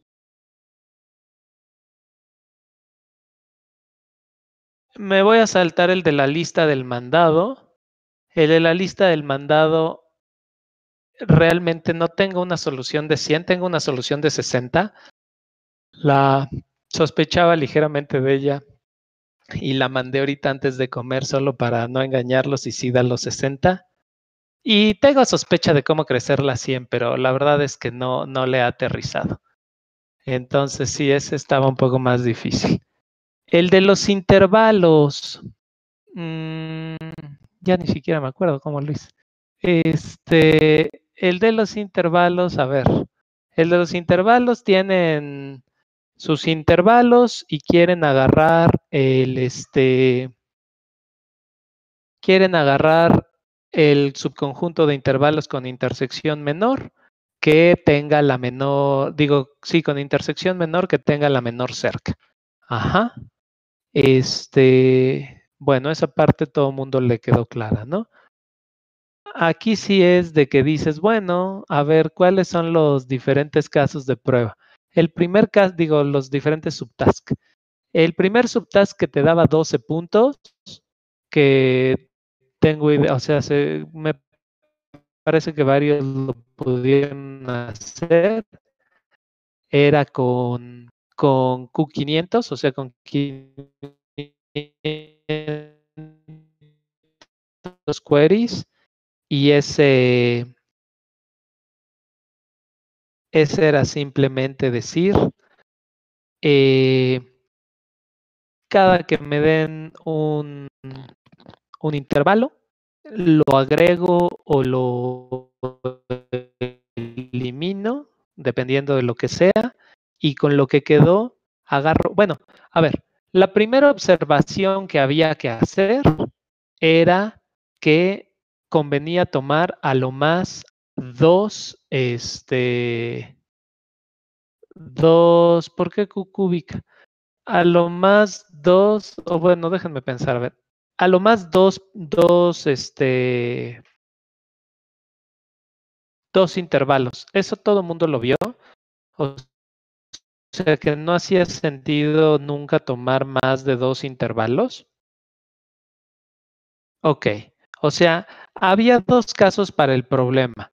El caso uno es que hubiera al menos una pareja de intervalos con intersección vacía y entonces en ese caso, si había intervalos con intersección vacía, pues quería saber que dijeras A vacía. Todos los intervalos se, este, se intersectan, o sea, todos coinciden. Entonces, en ese caso, la menor intersección, este, ¿cómo que porque puedes quitar uno?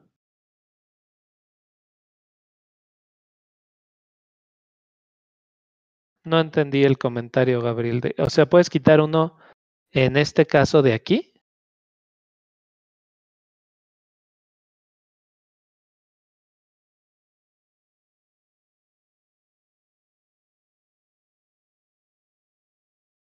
Ok.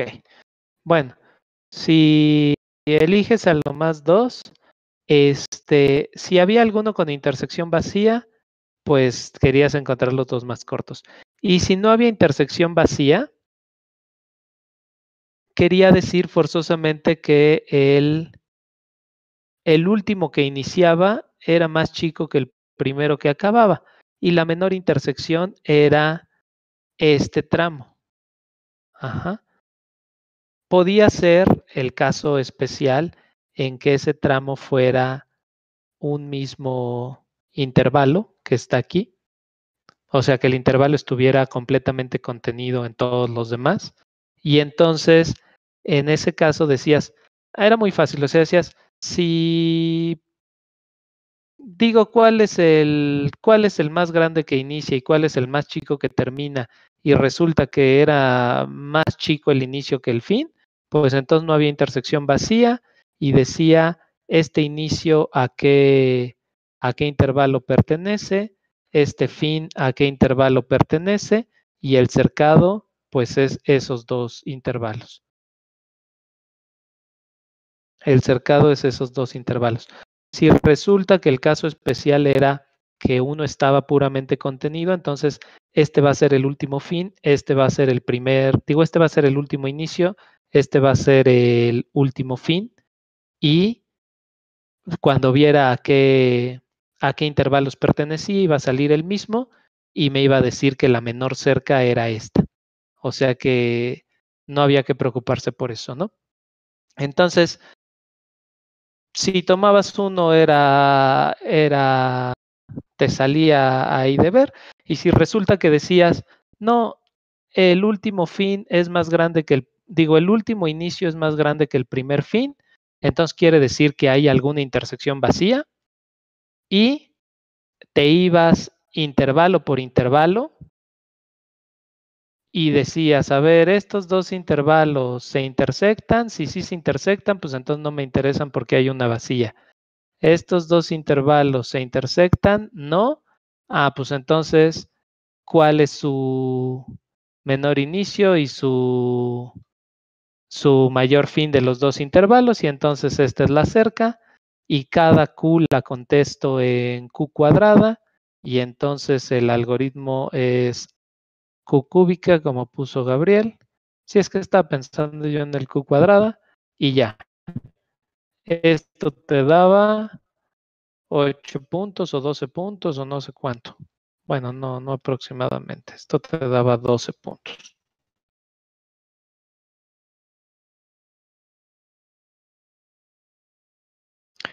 Bueno, esta era así como la fuerza bruta, ¿no? Este, ahora, ¿cómo le hacen para, eh, para mejorar esto? El siguiente grupo de casos era 12.000. O sea, el siguiente grupo de casos era Q igual 12.000.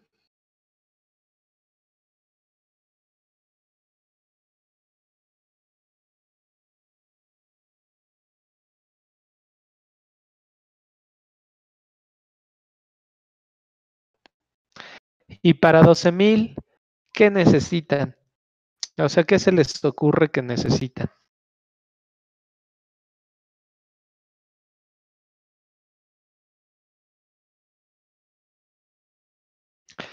Sí, efectivamente se puede hacer con sets.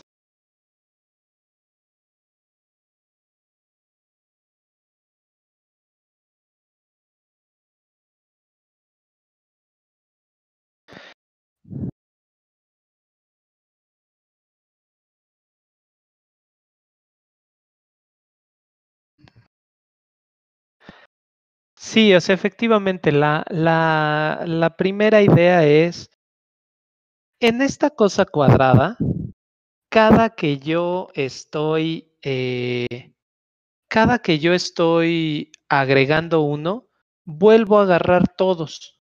Cada que yo agrego uno, vuelvo a agarrar todos y este, y entonces hago los Q cuadrada. Pero ¿qué pasa si no agrego todos? O sea, ¿qué pasa si lo único que hago es el nuevo que agregué compararlo? Porque pues todos los demás no van a cambiar. O sea, todos los demás van a seguir exactamente igual.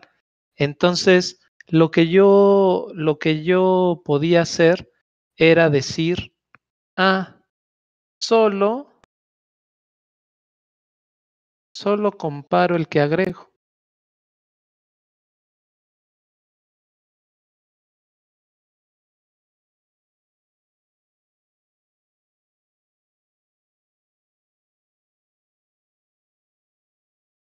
Y si solo comparo el que agrego, entonces los queries de tipo A, ¿en cuánto tiempo los contestas?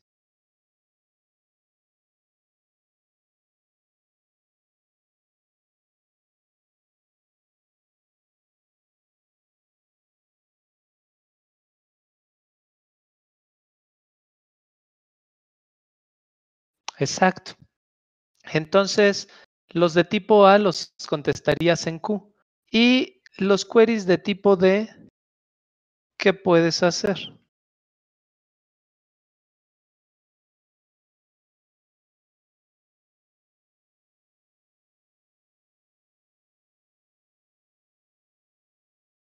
Vamos a pensar que los queries de tipo D, este, los queries de tipo D ahorita los volvieras a, a, hacer todos. Ajá. O sea que tú dijeras, bueno, si quito uno, o se les ocurre, a ver, ¿qué se les ocurre para cuando, cuando agrego uno es fácil, lo comparo contra todos. Y cuando quito uno, se les ocurre una forma de, de saber si Sí, ah, o sea, ¿cuál, ¿cuál es lo mejor que quedó?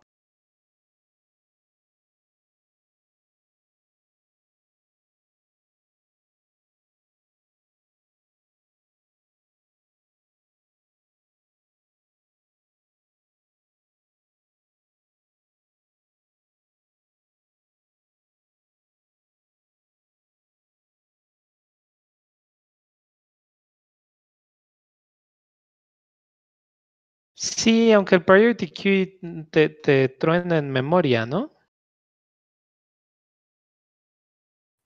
¿no? sé, es que tenía poca memoria el de los intervalos.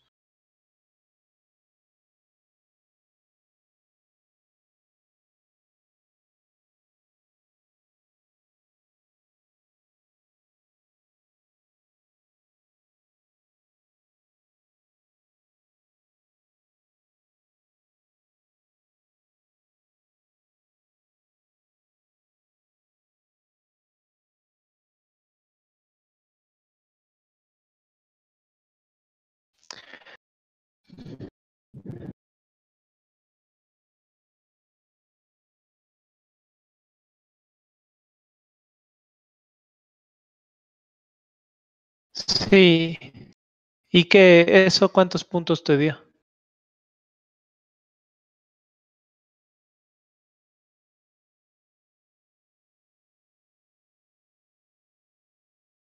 Ya. Este. Bueno, yo creo, yo creo que en realidad esto sí estaba pensado para haberse hecho con un priority queue y los límites de, de, de, memoria y de tiempo no eran los más adecuados. Y yo creo que la solución que se esperaba para, para los 12.000 era esa que acaba de poner Coahuilita, o sea, tal cual. E, eso es, esa es mi sospecha. Ahora, sí es cierto que no daba. Eh, yo probé simplemente a ver si había casos, este, casos manchados. Y dije, los queries de tipo A los contesto en Q. Y los queries de tipo D, si el mejor, si el que están quitando era uno de los dos intervalos de la mejor respuesta, entonces los hago en Q cuadrada. Y si no, entonces no hago nada. Nada más digo, ah, sí, ya este se murió, o sea, lo quito de, de lo que tenía y tan tan.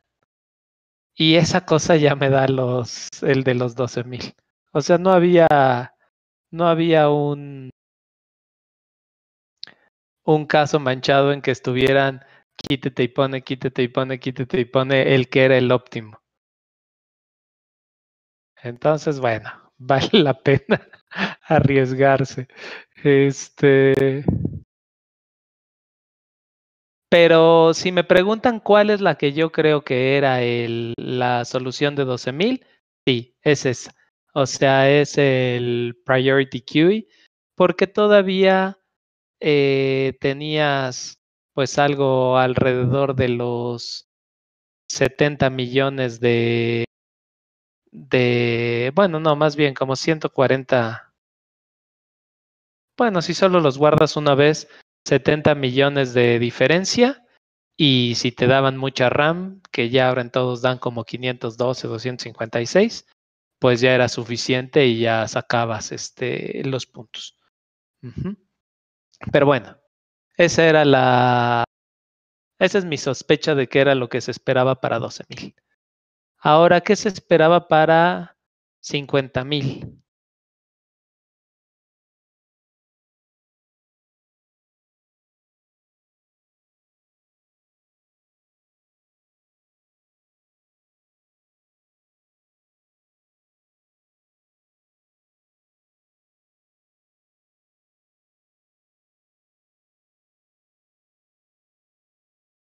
Para Q menor igual que 50.000, entonces ya necesitan este ya más bien necesitan no tener que checar con todos. Ya quedamos que la solución en donde todos se intersectan es trivial. ¿Esta parte sí les quedó clara? La de que cuando todos se intersectan la solución es trivial. O sea, es trivial saber que todos se intersectan y es trivial resolverlo. Lo resuelves en tiempo constante. Digo, porque esto es importante porque entonces ya nos podemos solamente preocupar por los casos de, de cero intersección. Para los casos de cero intersección con 50 mil, o sea, a ver, ¿cómo checan los casos de cero intersección? Yo acabo de agregar un, acabo de agregar un, este, un nuevo intervalo. Y entonces, ese nuevo intervalo, si estoy pensando que hay intersecciones vacías, tiene algún intervalo con el que no se intersecta de este lado, que es su mejor opción, y algún intervalo con el que no se intersecta de este lado, que es su mejor opción. Y la mejor opción es si yo tengo aquí desde el, bueno, este es mis valores que podían tener los intervalos, que creo que era solo un millón. Entonces ustedes podían decir, mi mejor intersección del lado izquierdo es el intervalo que haya terminado. El intervalo que haya terminado antes de este punto con el mayor inicio. O sea que este es el max inicio de los cerrados.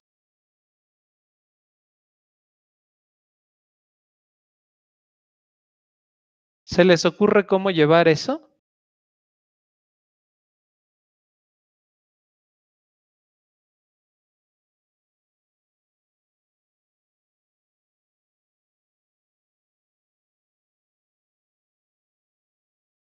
Trip. Trip ya es como un cañón.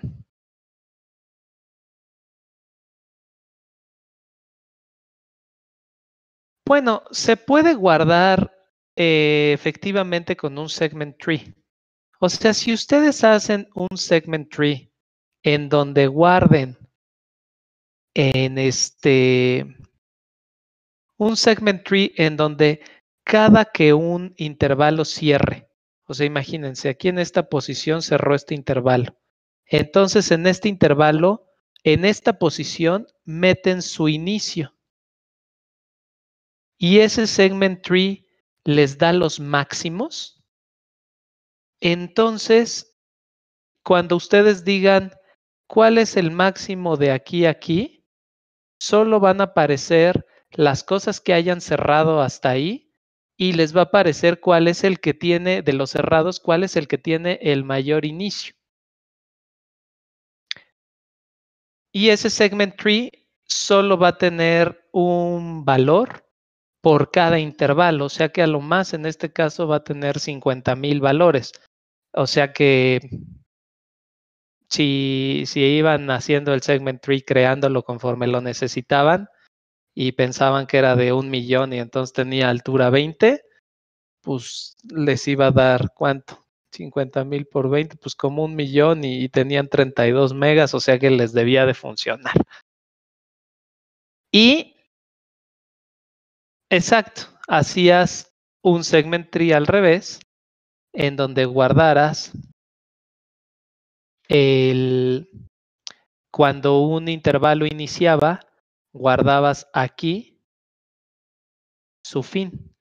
Y este querías que te devolviera mínimos, o sea, el query que le ibas a hacer era de mínimos.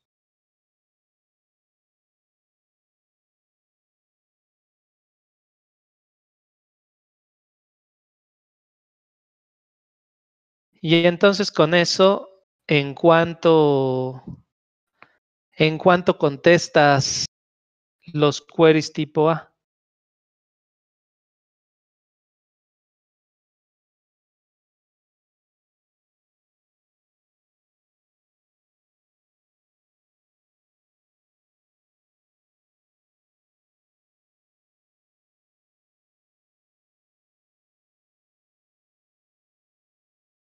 Pues es que más bien cuando, o sea, tendrías que hacer que cuando insertes, cuando insertes el nodo, o sea, como estás aquí, digamos, en esta posición poniendo un ini, cuando le hagas el update, si el valor que tiene ahí ya era menor que el que estás poniendo, entonces no te lo, no te lo aprendes.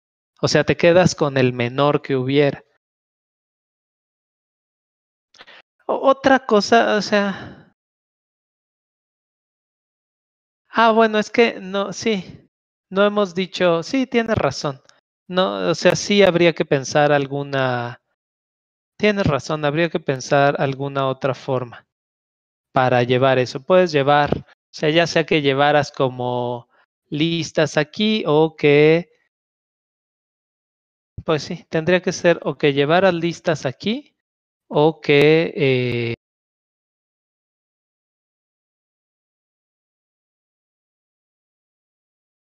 que llevaras, pues podrías llevar una lista, o sea, en cada nodo podrías tener una lista de los, de los valores y devolver el mínimo. Aunque eso habría que ver si no te mata que hubiera muchísimos con el mismo, con el mismo final. No, ahí sí no sé los casos de prueba. Realmente ya esta, esta solución no me puso a implementarla, pero sí, tienes razón que hay que tomar ahí algo, este, algo en cuenta para hacer eso. Este, ¿cómo, ¿En cuánto tiempo contestas estos? ¿En qué complejidad?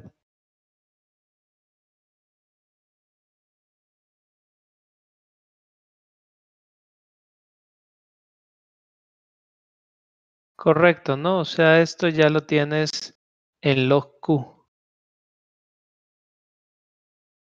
¿Y ahora qué pasa con los queries de tipo D? O sea, porque realmente lo difícil de este problema son los queries de tipo delete.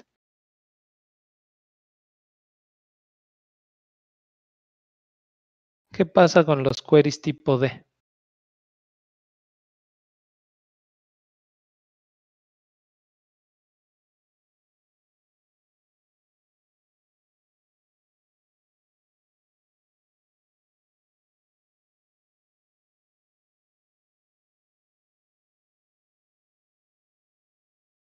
Sí, el, el eliminar el, el, intervalo es solo hacerle el update, pero si ese era el, si ese era el intervalo que, este, que era el óptimo, entonces, ¿qué pasa?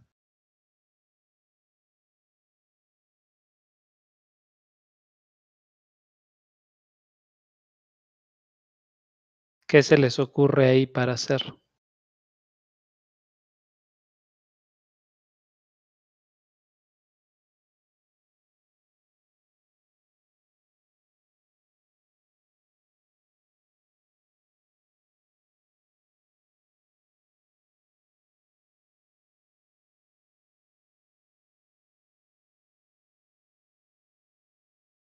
Correcto. O sea, yo esa es la que esa es la que creo que es la lo que están esperando, que vuelvas a procesar todos los todos los intervalos. ¿Y por qué creo que esa es la que están esperando? Porque los números cuadran. El, el peor caso, este, el peor caso viene en que eh, te metan 50 mil intervalos y después te quiten uno y te pongan uno, te quiten uno y te pongan uno, te quiten uno y te pongan uno. Entonces, digo, no que metan 50 mil, que metan 25 mil y quiten uno, pongan uno, quiten uno, pongan uno, quiten uno, pongan uno. Entonces, eso quiere decir que tendrías 12.500 deletes, que es algo muy similar a esto. Este, Esa es, la, esa es la solución que yo creo que estaban esperando oficialmente para los 50 mil. O sea, lo cierto de este problema de intervalos es que yo creo que le pusieron menos tiempo del que se debía de haberle puesto y menos RAM. Ya se los dije eso, ¿no?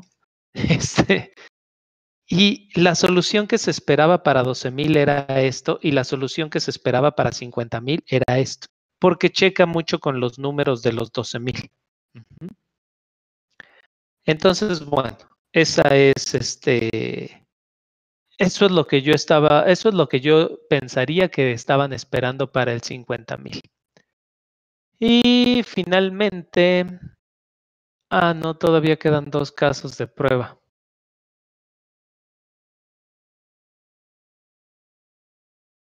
Sigue el caso de este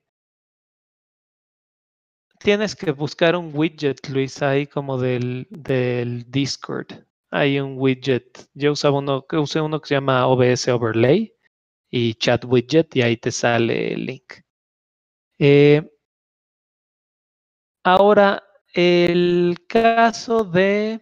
Ah, sigue un caso, un caso particular en que te dicen que son Yaku de todos los todos los Qs, o sea, los 500 mil, pero con la característica de que eh, LI es mayor o igual que RJ o este LJ es mayor, bueno, supongo que mayor o igual, aunque creo que dice mayor estricto este, mayor que RI.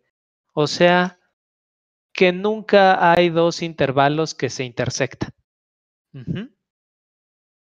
Ese caso es muy particular. Eh, ¿Por qué? qué? ¿Qué tiene de particular ese caso?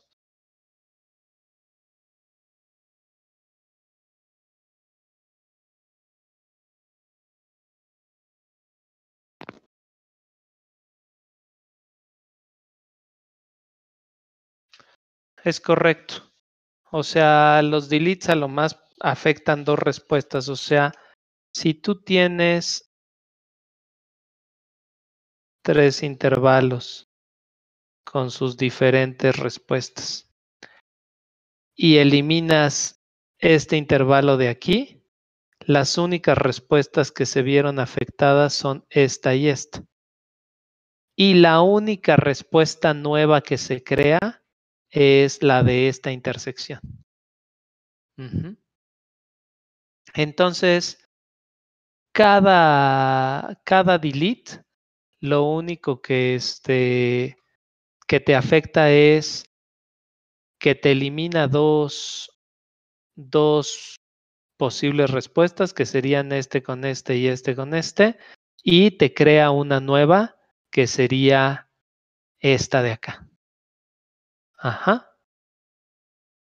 Este, este problema, este subtask, se podía resolver las Q de tipo add con... Ah, no sé, ¿los demás ven el cursor?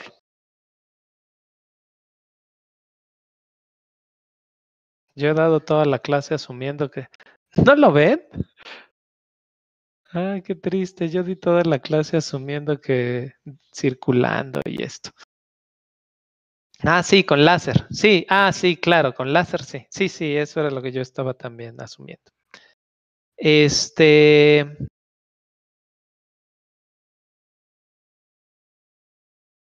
Entonces, ¿qué? Los queries de tipo add aquí se pueden resolver con algo similar a lo que hemos visto en, pasados, en donde simplemente dices, este,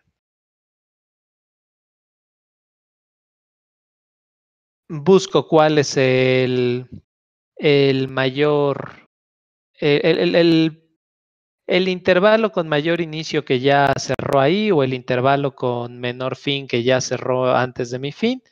Y entonces esto se contesta en tiempo log Q y ni siquiera tengo que sufrir con lo de lo que se mencionó hace rato de si dos empezaban o terminaban o con un lower bound. Ajá, o sea, aquí ni siquiera me importa el segment tree porque lo puedo hacer con, con un set nada más, ¿no? Y aquí, aquí sí puedo usar el priority queue para este, ajá, a esto voy a ponerle aquí con un set. Bueno, no con uno, con dos, pero. Y los, queries de tipo D. Eh, si, esa, esa si hacían esta solución más la de 500, según yo les daba 36 puntos y, no sé por qué algún, o sea, es que no estaban agrupados esos. Digo, no les debía dar 36 puntos, pero no estaban agrupados y algún caso salía milagrosamente con esa, con esa solución, pero, pero esa daba 36 y lo sé porque terminando el examen o si la implementó y la mandó y dio 36. Este, y el query tipo D se puede hacer con un priority QE en donde tú sí fuiste guardando todas las, todos los tramos, marcando los, los este, segmentos como vivos o muertos, como dijo Coahuilita, y eh, quedándome siempre con la, con la menor diferencia, ¿no? Porque al final, como solo te importa el que está junto y el a tu izquierda y a tu derecha, cada intervalo va a sacar solo uno. Y cuando quites un intervalo, tienes que crear el que aquí está como azul, que es uno nuevo que se crea. Pero entonces, cada intervalo, por cada intervalo a lo más hay tres inserciones en el priority queue. Y este, y entonces no, no vamos a, a votar de memoria. Entonces, esto también se resuelve en log Q con un priority queue.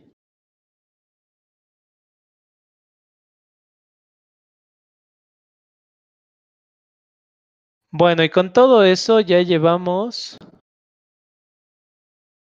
88 puntos de los 100. 88 puntos de los 100. Bueno, y finalmente el sin restricciones.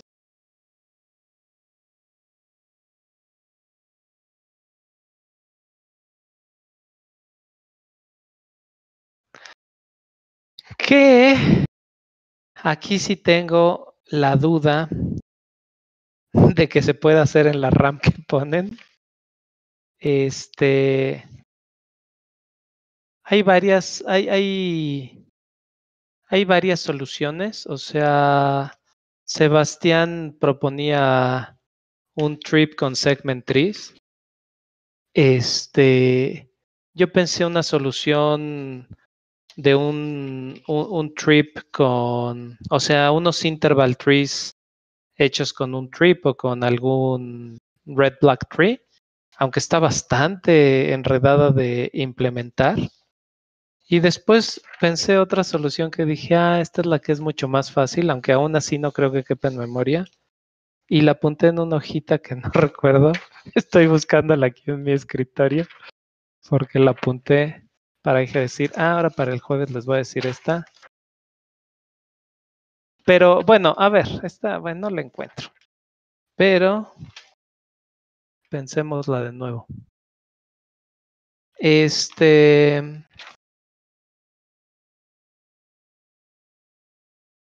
Sí, 32 megas está limitativo. Este,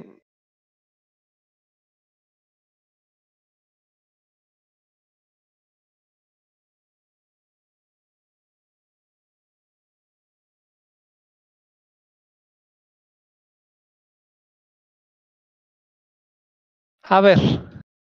Bueno, no lo encuentro, pero. Eh, la cuestión. Ya teníamos con los segment trees. Ya teníamos una forma eh, log de contestar los sats, ¿no?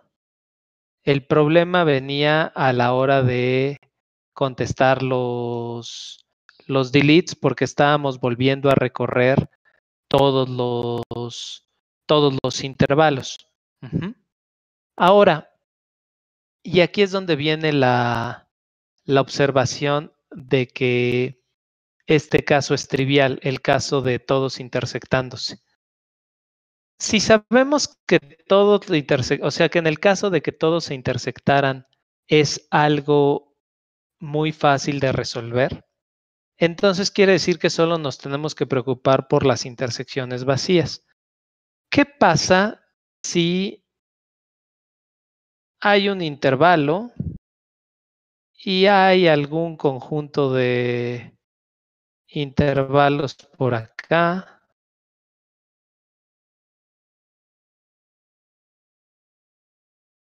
Y otros intervalos por acá.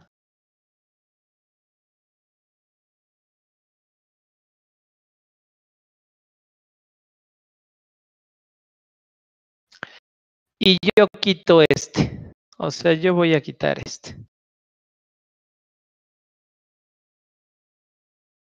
¿Qué pudo haberse afectado? O sea, digo, si este no era de los que eran de la respuesta, no tengo que hacer nada. O sea, puedo decir, si la respuesta no era este, pues ya ni lo pelo. Y si la respuesta sí era este, ¿qué cosas se ven afectadas? Bueno, pues se ve afectada la, vamos a pensar que el, el óptimo fuera este. Este, se ve afectada esta y probablemente esta, ¿no? O sea, vuelve a ser algo parecido a este caso.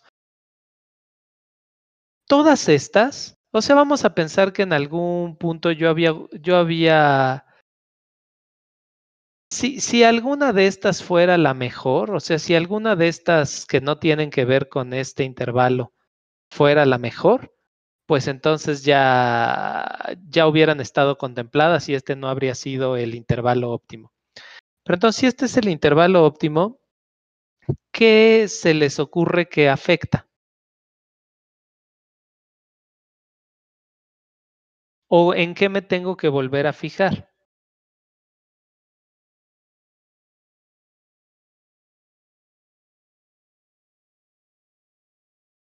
Bueno, en lo que me tengo que fijar es más o menos lo mismo que en esto. O sea, si yo tenía un, una cosa que era óptima a mi izquierda, voy a... O sea, yo tenía una cosa que era óptima a mi izquierda y una cosa que era, voy a tomar este de aquí, óptima a mi derecha. Creo que se hizo un rayoneadero, voy a quitarlos. Este, pero bueno, o sea, tenía este óptimo. Si yo quito esta,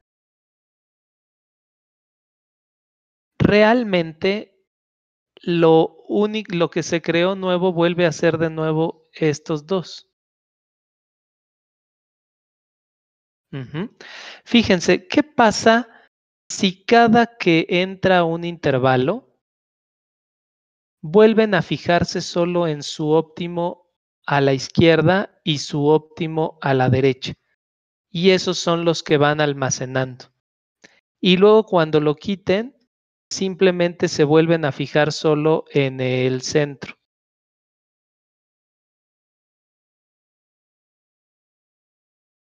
¿Les hace sentido que es equivalente a este caso?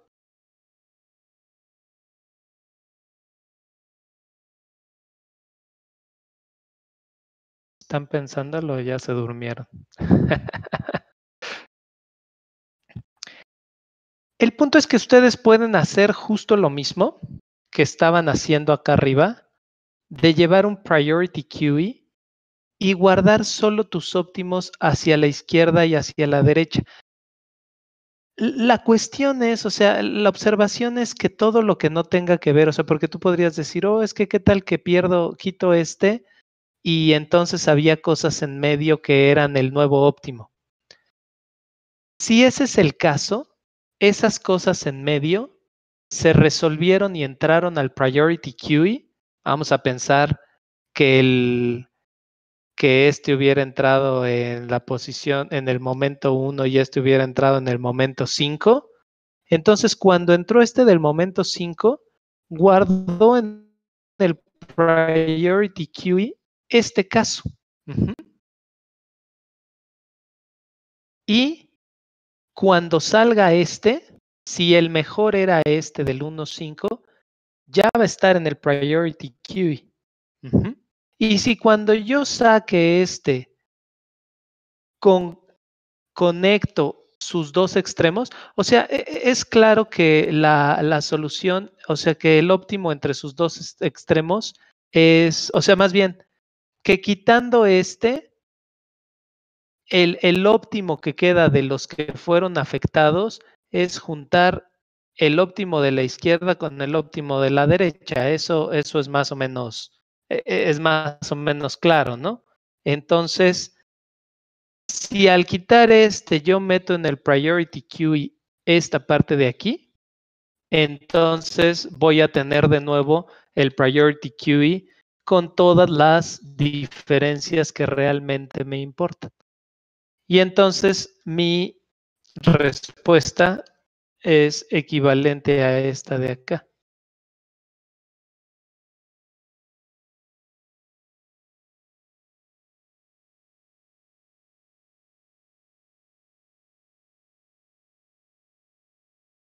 Correcto. O sea, para cada, o sea, es es equivalente a este caso de aquí. O sea, para cada uno guardas.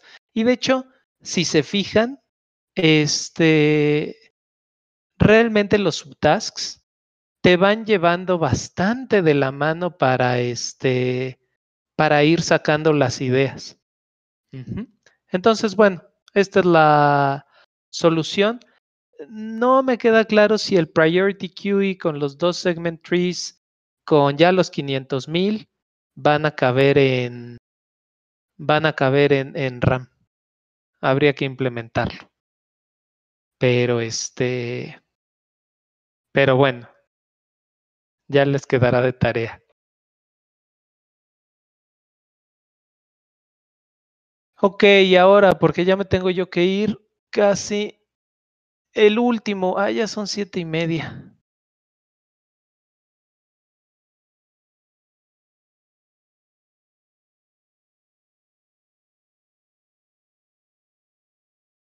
A ver, el de la lista del mandado. Para el de la lista del mandado tengo la solución de 60 puntos que es sin restricciones de tamaño de NMOK, pero con la limitante de que X, Y y Y son 1. Todos se acuerdan de la lista del mandado. Tienes un grupo de un grupo de tipos, de objetos de tipo de un tipo y cada uno de esos objetos tiene un precio y en tu lista del mandado tienes que llevar una cantidad de objetos del tipo 1, una del tipo 2, una del tipo 3, una del tipo 4 y te dicen cuáles son las K, cuánto cuestan las K listas de mandados más baratas que puedo, que puedo hacer. Eh, el primer subtask es el primer subtask es NMIK menor a 4000. O sea, el subtask 1 es N M K menor igual que 4000 y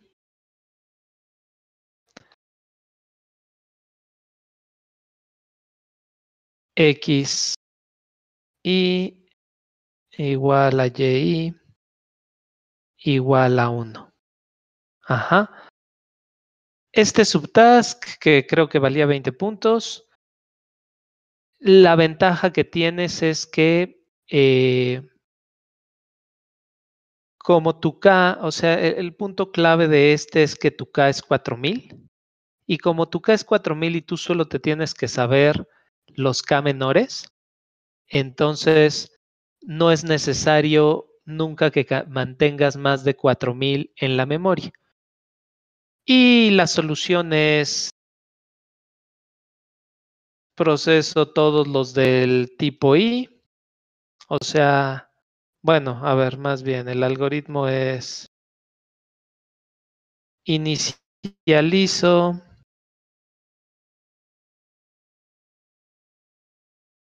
Inicializo con el tipo 1.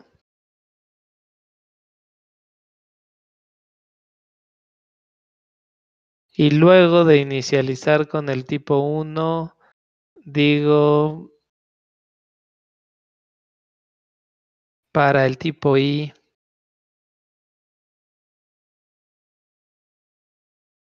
con I mayor o igual que 2. Este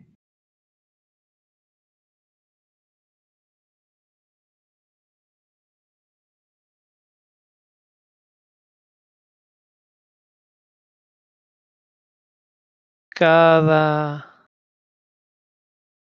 objeto lo sumo a todos los precios que tengo. O sea, como fuerzas voy a necesitar uno. Cada objeto lo sumo a todos los precios. Este meto las sumas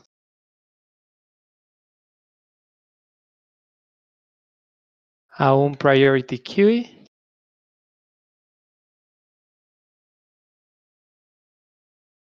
y me quedo con los K menores.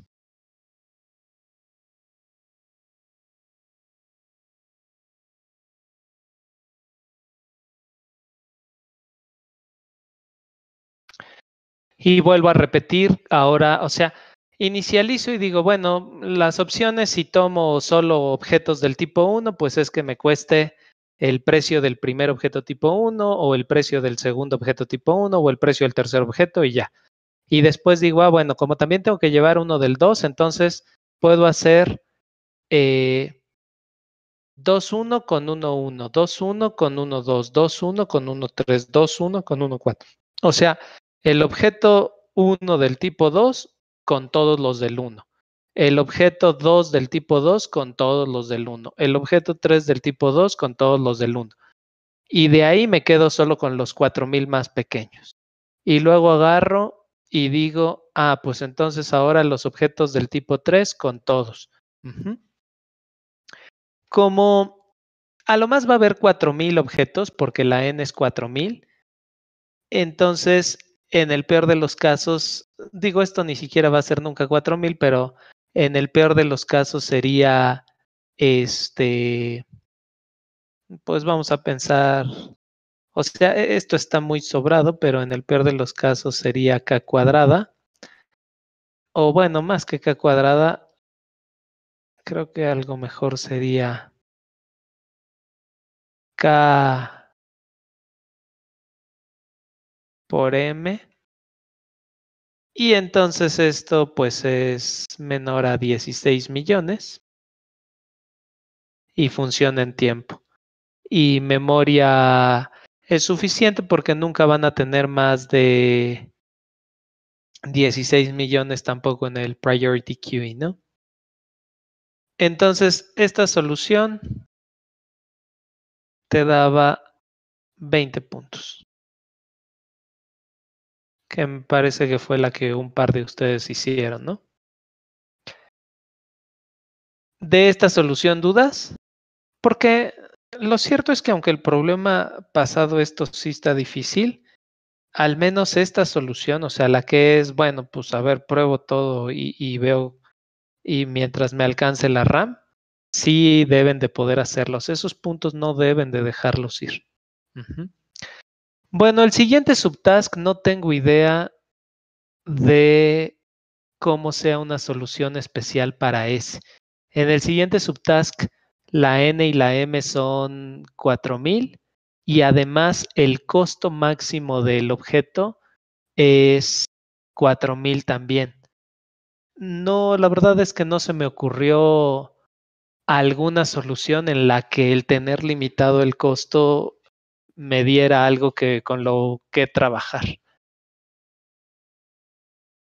Sí, o sea, sí, eh, eso es lo que, o sea, te lleva que la suma de todo es 16 millones, pero no, al, menos no, no encontré yo una, una cosa que, que eso fuera algo utilizable.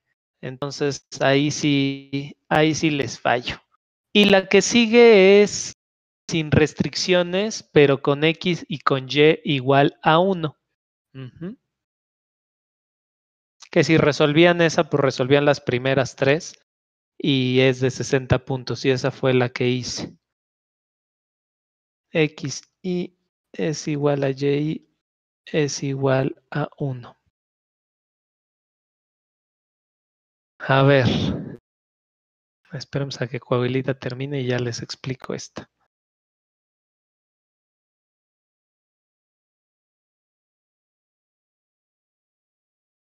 Ah, este.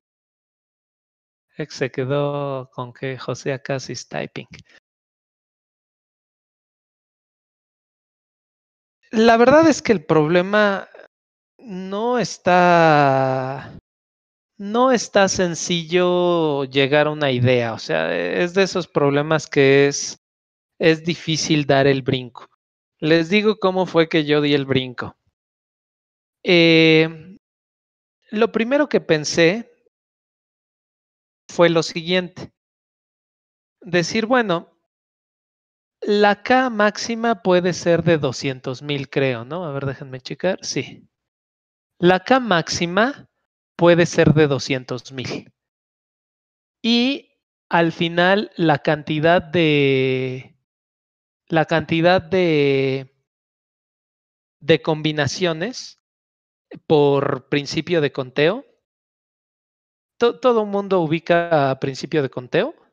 O sea, si tienes conjuntos A de cardinalidad, este N y conjunto B de cardinalidad M y conjunto C de cardinalidad L y quieres tomar uno de cada uno, es la cantidad de posibilidades es N por M por L. O sea, esto es así como piensen, o sea, ese es así como el principio más básico de conteo. O sea, piensen, si tengo tres camisas y dos pantalones, ¿de cuántas formas me puedo vestir? Ah, pues me puedo poner cada una de las camisas con cada uno de los pantalones y es tres por dos. Y si aparte tengo cinco pares de zapatos, pues entonces es cada camisa con cada pantalón con cada zapato y es tres por dos por cinco, ¿no? Entonces, dado que aquí iba a agarrar uno de cada conjunto, entonces iba a ser una multiplicación. Si solo podías agarrar uno de cada conjunto, o sea, si cada conjunto solo tenía una opción, pues no, no, no hay nada que escoger. Pero si tiene más opciones, entonces resulta que 200 mil, pues es, ¿cuánto es 200 mil? Es 2 a la 18, ¿no? Bueno, es menor que 2 a la 18. Entonces, eso quiere decir que aunque me dieran 4000 tipos o 100,000 tipos, realmente con 18 yo ya me iba a pasar de las de las K. Ajá. ¿E, e, e, ¿Esa observación queda clara?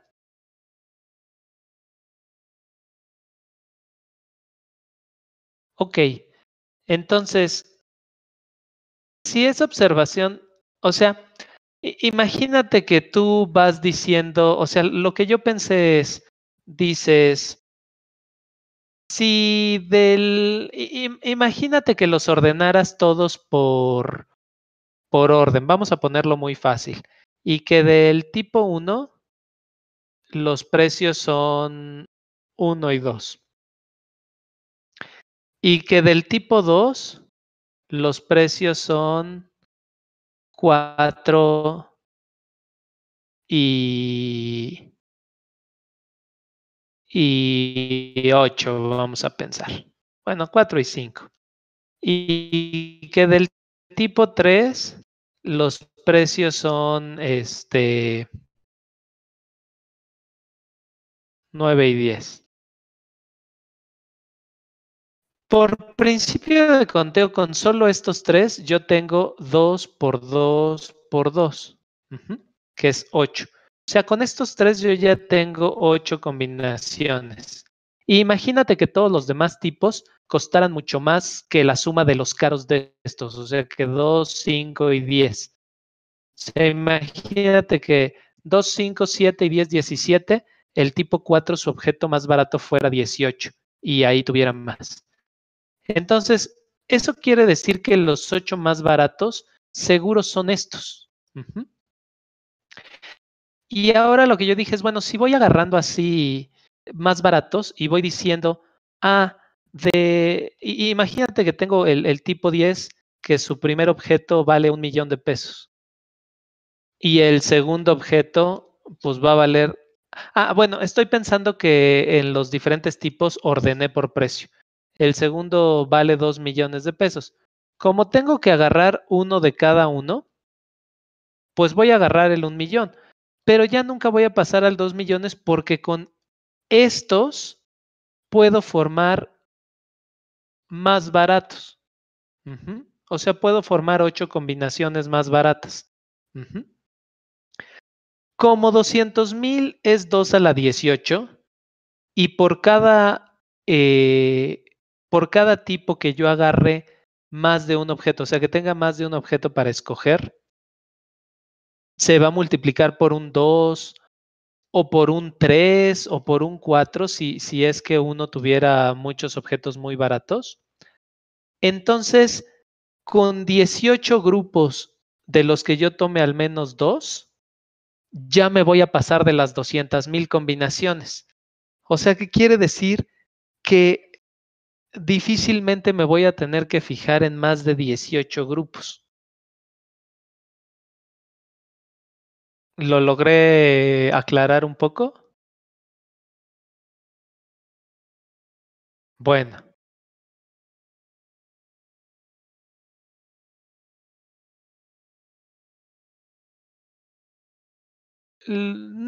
No, no, hacia mi primera idea, o sea, a ver, les digo, mi primera idea fue decir, pues me fijo en esto. O sea, mi primera observación fue esto. El número de grupos en el que me voy a tener que fijar es pequeño.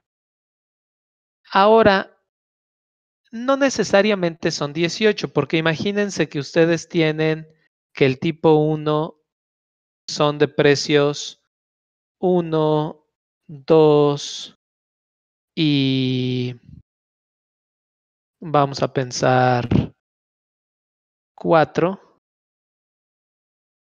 y el tipo 2 es de eh, 2, 3 y 6.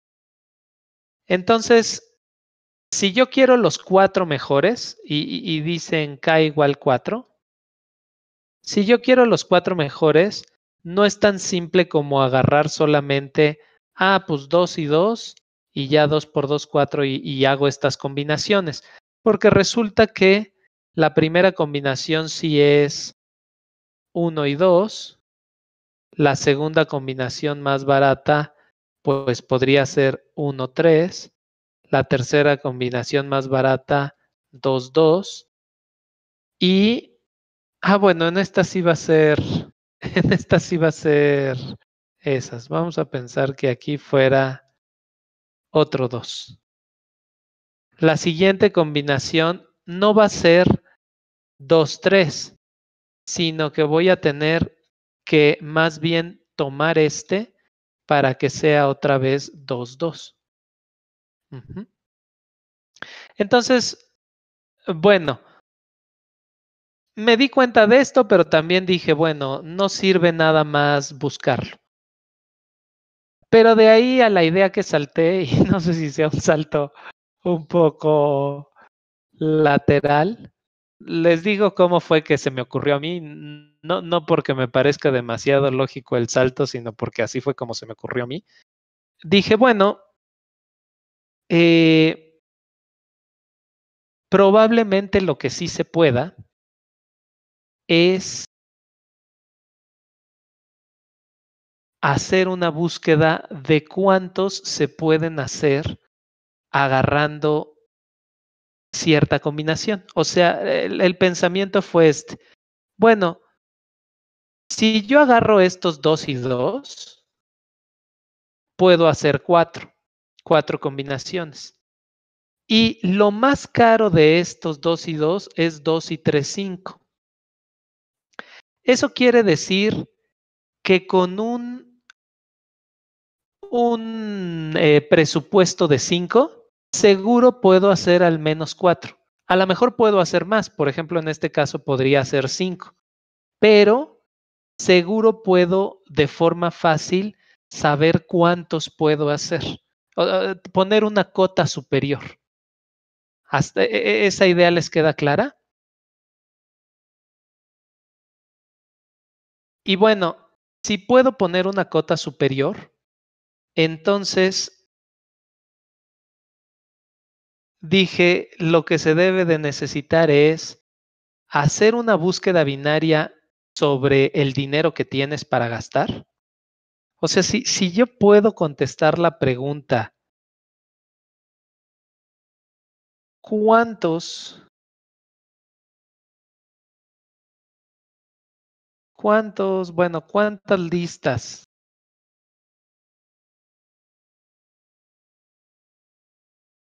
puedo armar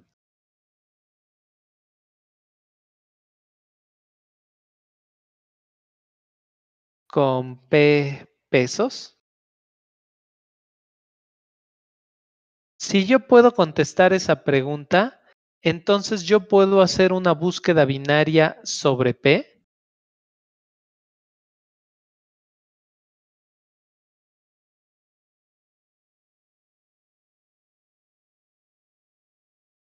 para ver cuál es el presupuesto que necesito para comprar K. Ajá. Y resulta que si de veras puedo encontrar el presupuesto, si de veras puedo saber cuántas puedo armar con P pesos, entonces seguramente también las voy a poder enumerar. Y entonces eso fue lo que intenté resolver ahora. O sea, lo que intenté resolver es contestar esta pregunta. ¿Cuántas listas puedo armar con P pesos? ¿Cuántas listas? Bueno, si, si, si encontrara, pude resolver el P exacto, pero si encontrara el menor o igual a P, como voy a ir creciendo de uno en uno, o sea, digo, voy a ir aumentando máximo un 2, a lo más, o sea, aunque no hubiera encontrado la cota exacta, si puedo decir esto que voy multiplicando por 2, este, armar todas tendría lo más el doble. Entonces, como son 400 mil, aún así no sería tanto problema. Tendría los 400 mil, le haría un sort y presentaría las primeras 200 mil, o bueno, lo que me hubieran pedido. Entonces, cualquiera de las dos me servía. Bueno, y al final, ¿cómo fue? Lo que hice es lo siguiente. Tomo todos los tipos. Eh, ordeno por costo.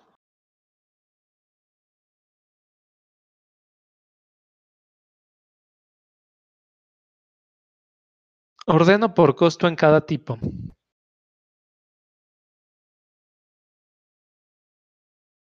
Y luego...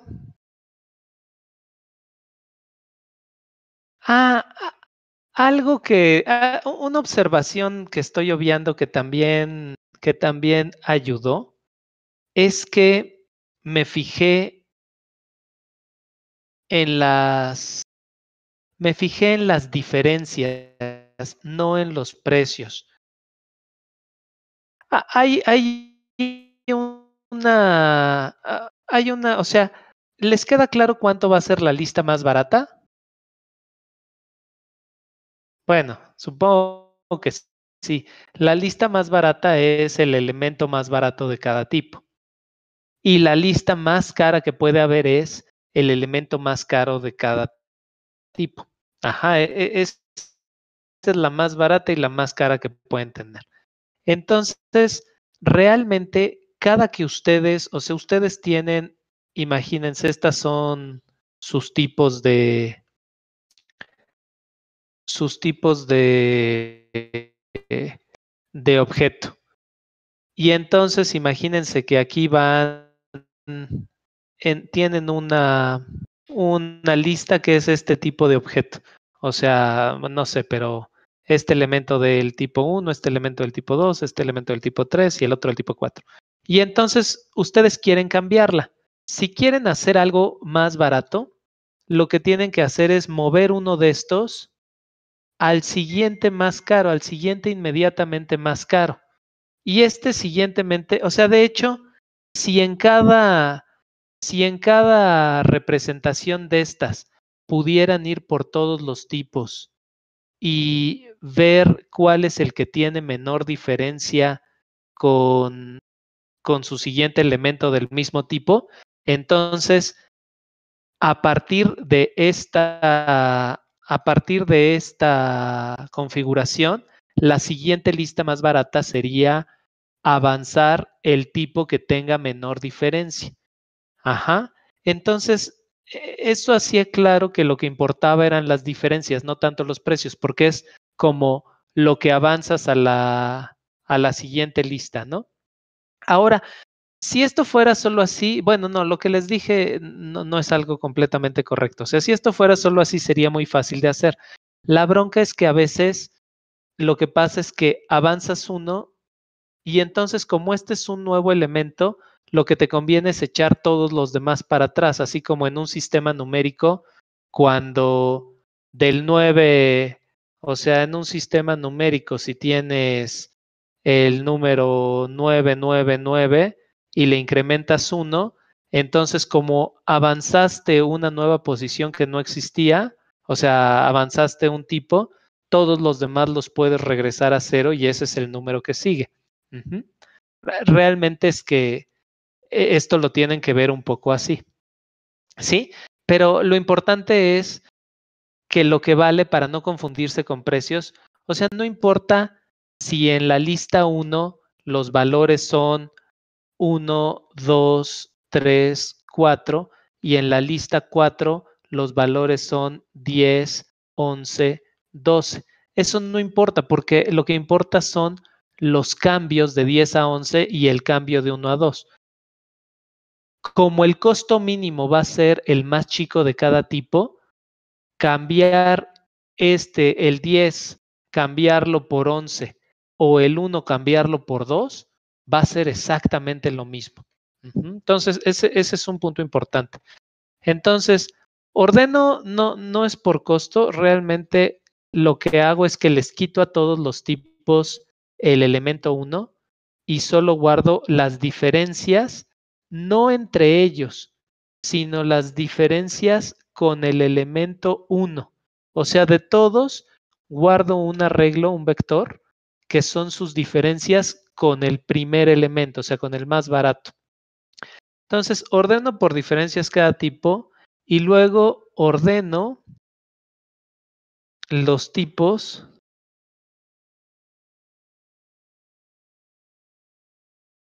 por diferencia.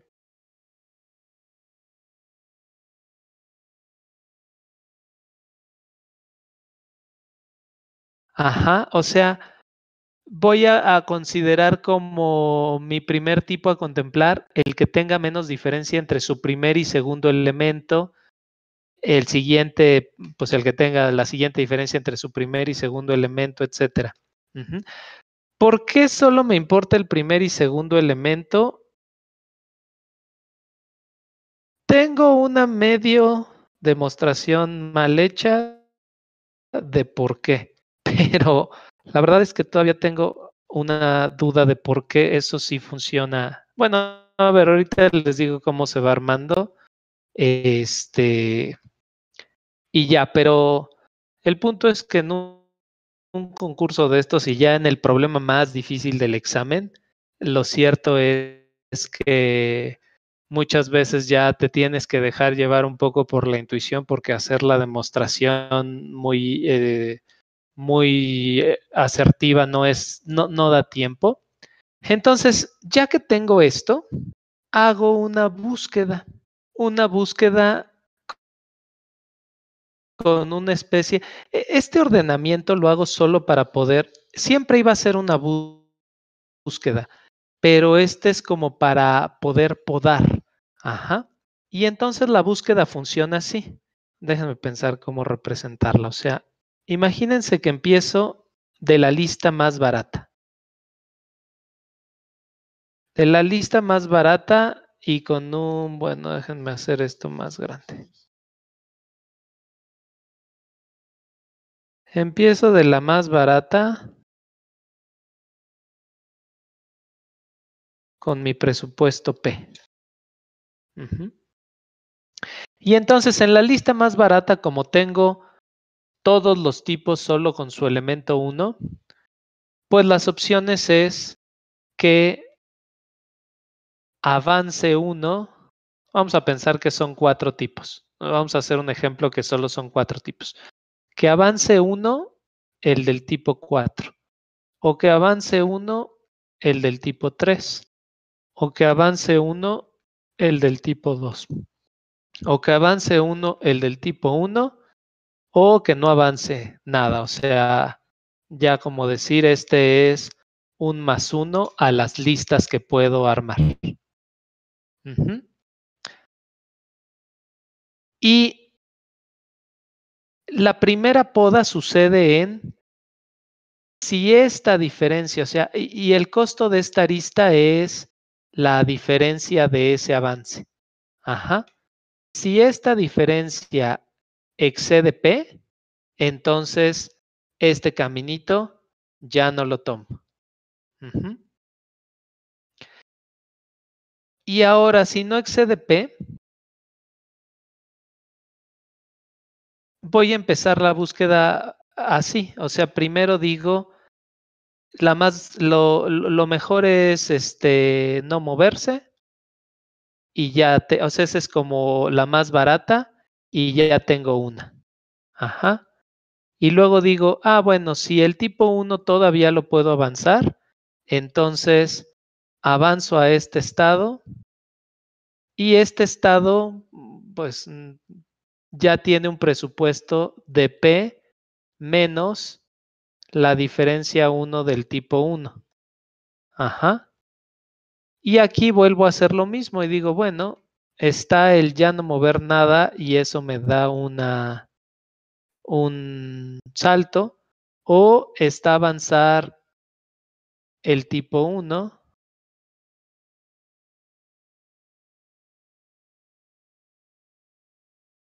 o está avanzar el tipo 2 o está avanzar el tipo 3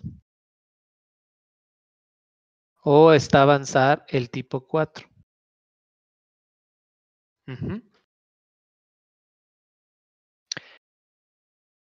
Y ya.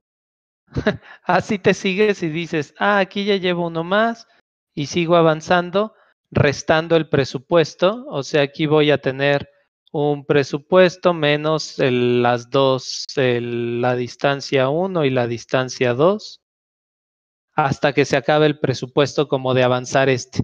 O sea, si se fijan, el crecimiento es un poco como este del sistema numérico que les dije.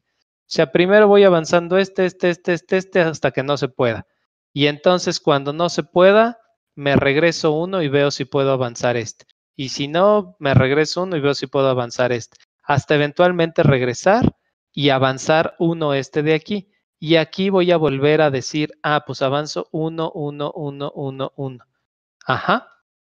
Cuando ya llego, o sea, esta búsqueda en profundidad puede ser, este, bueno, pues es gigantesca, es, es de, para los límites del problema puede ser como de 60 a la 60. Este, pero como la vas a podar, o sea, el chiste es que la vas a estar podando cuando ya no puedas avanzar y sobre todo la vas a podar cuando ya llegues acá en estos más unos. Entonces, en sí la búsqueda nunca va a tener más de los K. O sea, este, este arbolito nunca va a tener más de los K, de los K elementos. Y ya que tienes eso y entonces haces tu búsqueda binaria de este, de cuántos puedo hacer con, con ese presupuesto, con un cierto presupuesto.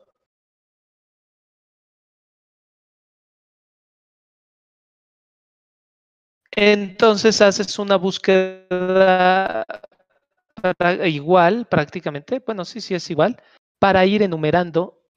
Ajá, o sea, los vas metiendo, cada que vayas llegando uno de estos, vas metiendo los costos, los costos, los costos, al final le haces un sort. Bueno, el 3 sería esta búsqueda.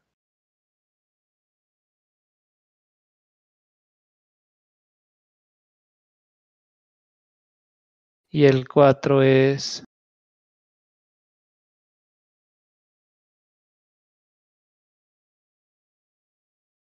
Sí, a, a, la hora de numerar, ya no metes la poda de K, exacto. A la hora de numerar, solo metes la poda del presupuesto. Bueno, tienes razón. Eh, la pregunta que me hiciste hace rato sí era pertinente. Era el P menor o igual que K. Eh, solo metes la poda de presupuesto, sí, es, es correcto.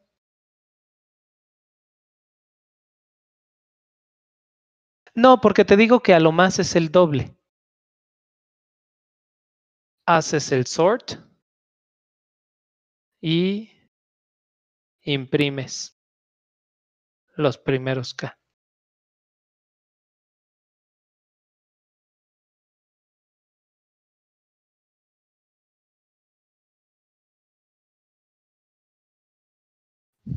Y listo. Esa es la solución de 60. Es que, ¿por qué, qué estados son los que...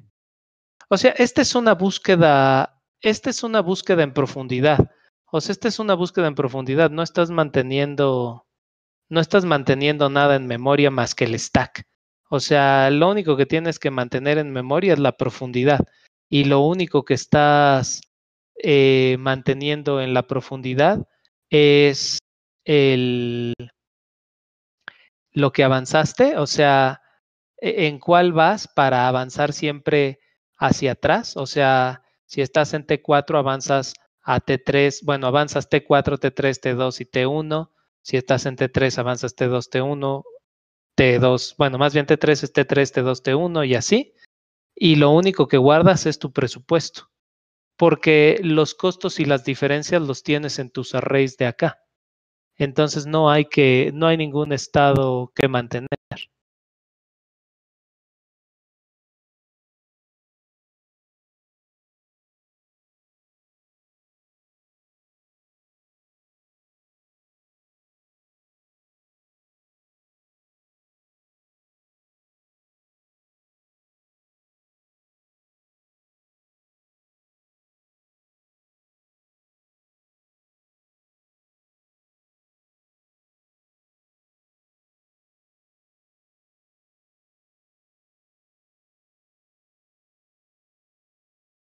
Ya, ya, ya, ya me voy.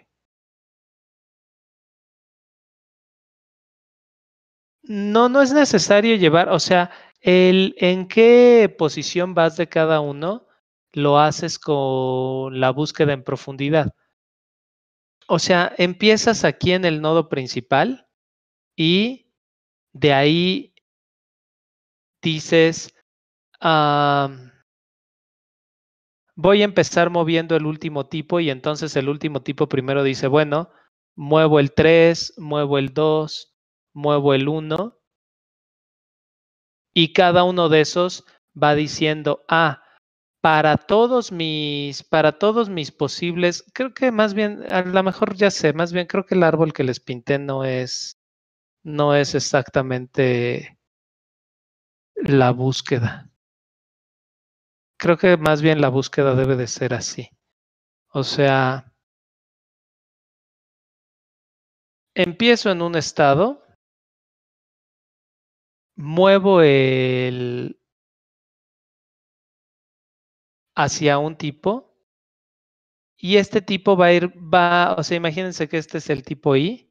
Este tipo I va a tratar de mover los tipo 1 hasta el tipo tipo i menos 1 y además va a avanzar el, todos, sus, todos sus valores de posición 0, 1, o sea, todas sus diferencias 2, 3, hasta una que quepa en presupuesto. A ver, déjenme mejor.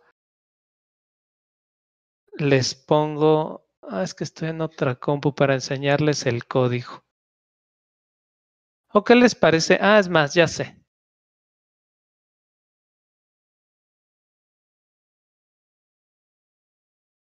Se los voy a pegar en el en el Discord.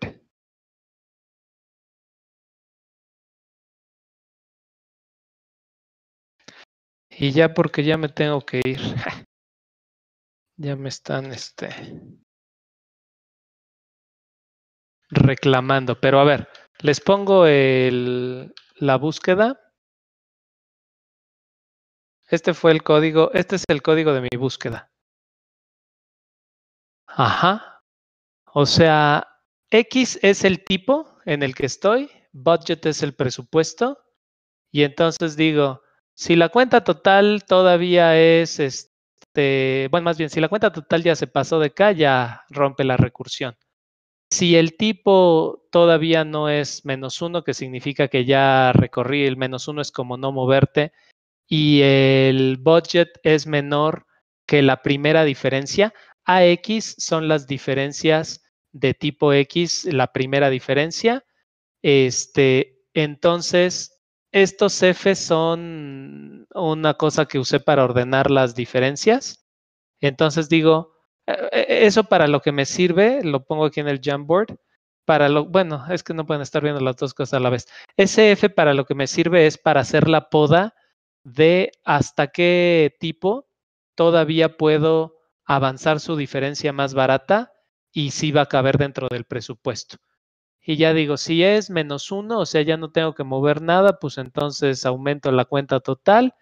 Si no, llamo el search de el tipo más abajo que yo con el mismo presupuesto y hago el for desde cero hasta el tamaño de las diferencias, mientras la diferencia todavía quepa en budget, de haber avanzado a ese elemento, o sea, al, al elemento 1 de ese tipo, al 2, al 3, bueno, más, no al 1, más bien al 2, o sea, la primera diferencia al 2, al 3, al 4, al 5, y por eso las diferencias son del elemento contra el inicial.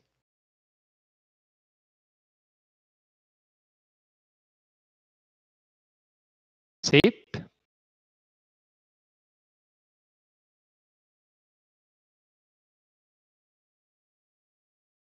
Y bueno, pues esa sería, a ver, tienen tres minutos más.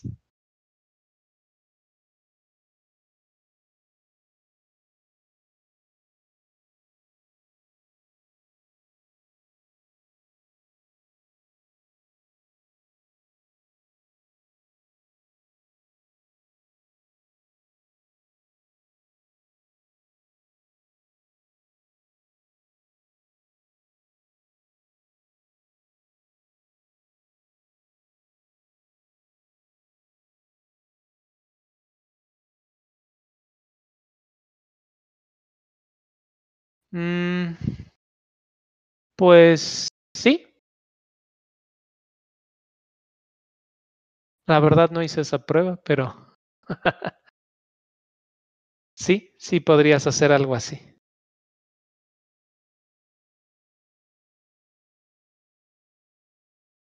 Bueno, jóvenes, ya me tengo que ir.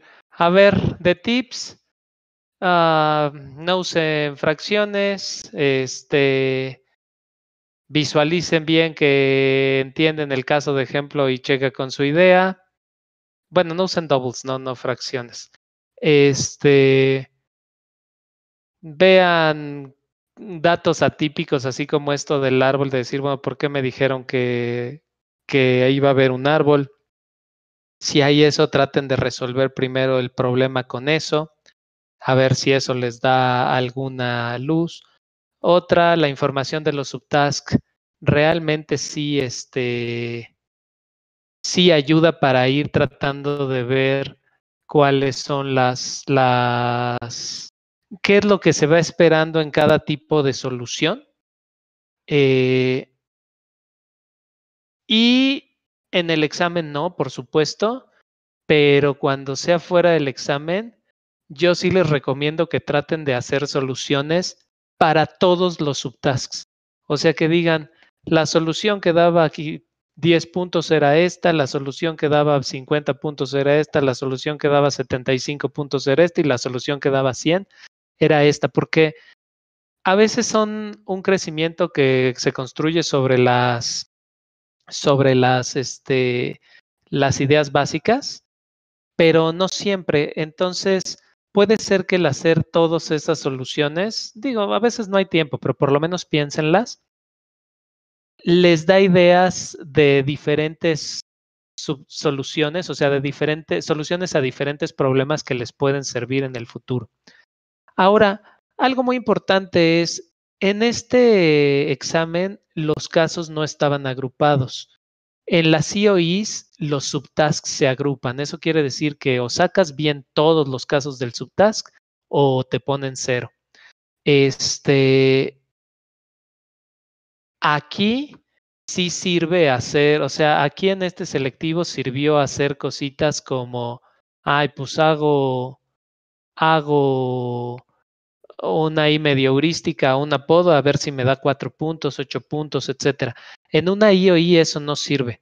Y de hecho, lo más probable es que ya en el selectivo final, que ya debe de mandarle Luis Rodolfo las fechas, este, van a estar agrupados como en una I o I, y entonces o resuelven bien el subtask o sacan cero. O sea, una solución a medias no va a funcionar. Entonces, por eso sí es importante que hagan su análisis de complejidad, hagan su análisis de memoria y digan, bueno, esto sí va a funcionar o esto no va a funcionar, porque si simplemente es una poda lo que van a hacer, a veces no vale tanto la pena perder el tiempo, a menos que ya hayan hecho lo que creían que podían hacer en los tres problemas y digan, bueno, pues a ver si pega, igual, por ejemplo, esta que yo les dije hace rato de la complejidad no da, pero voy a hacer que si en los intervalos el que quita no soy no, el, que quitan no era parte de la solución óptima, este, no haga nada y entonces me ahorro eso. No es un recorte en complejidad, pero es un recorte que si el caso de prueba no estaba armado para ser malo con ustedes, iba a recortar mucho. O sea, para, para el caso promedio iba a recortar mucho. Entonces lo pones y si te da los puntos, bueno, pues qué bueno. Pero ya ese es así como un chicle y pega y no lo deberían de hacer tanto. Y bueno, finalmente hago una estrategia de examen. O sea, creo que sí todos, salvo quizá los que ya se ven muy experimentados, como podría ser, pues Héctor, claramente, eh, a lo mejor Coahuilita, esto que tienen más, creo que sí les falta a todos, de lo que vi que hicieron, un poco de estrategia de examen. Este, de ver cuánto tiempo le dedican a leer los problemas, a ver cuánto le dedican a cada uno, a ver si se conforman con uno de los subtasks o un conjunto de subtasks o si quieren tirar al 100, saber si están cerca o si están lejos. Y bueno, eso es práctica. Y en ese sentido, algo que le decía yo a Ozzy, porque Ozzy estuvo haciendo mucho Code Forces, es que Code Forces está bien y está padre. La verdad, a mí, ahora que lo vi, me gustó mucho, pero no es tan bueno para entrenar alto nivel porque los problemas, o sea, la mayoría de ustedes están en División 2 y los problemas A, B y C de División 2, que son los que luego andan resolviendo, son muy fáciles. O sea, son muy fáciles comparado con esto. Entonces, se acostumbran, o sea, esos problemas de Code Forces A, B y C, normalmente son problemas de índole tal que lo que parece que debe de ser, eso es. Ajá, o sea, no, tienen trampa, o sea, los piensas y dices, ah, pues esto creo que es greedy y chin es greedy, jala. Y en una IOI eso no pasa. Los problemas son mucho más difíciles. Entonces, si van a usar con forces, entrenen al menos de D para arriba de división 2 o de E para arriba de división 2. Este, sobre todo ya en esta última etapa. O sea, sí está bien Code Forces para entrenar velocidad, para entrenar implementación, para entrenar presión. Eso sí está padre. Pero no, no crean que solo el hacer aves y Cs les va a funcionar porque lo que eso va a hacer es que lo que aprendan es a irse con la finta, a irse con la finta de que los greedy siempre funcionan. Y la verdad es que en una IOI un greedy solo funciona después de una transformación. O sea, no va a pasar que haya un greedy.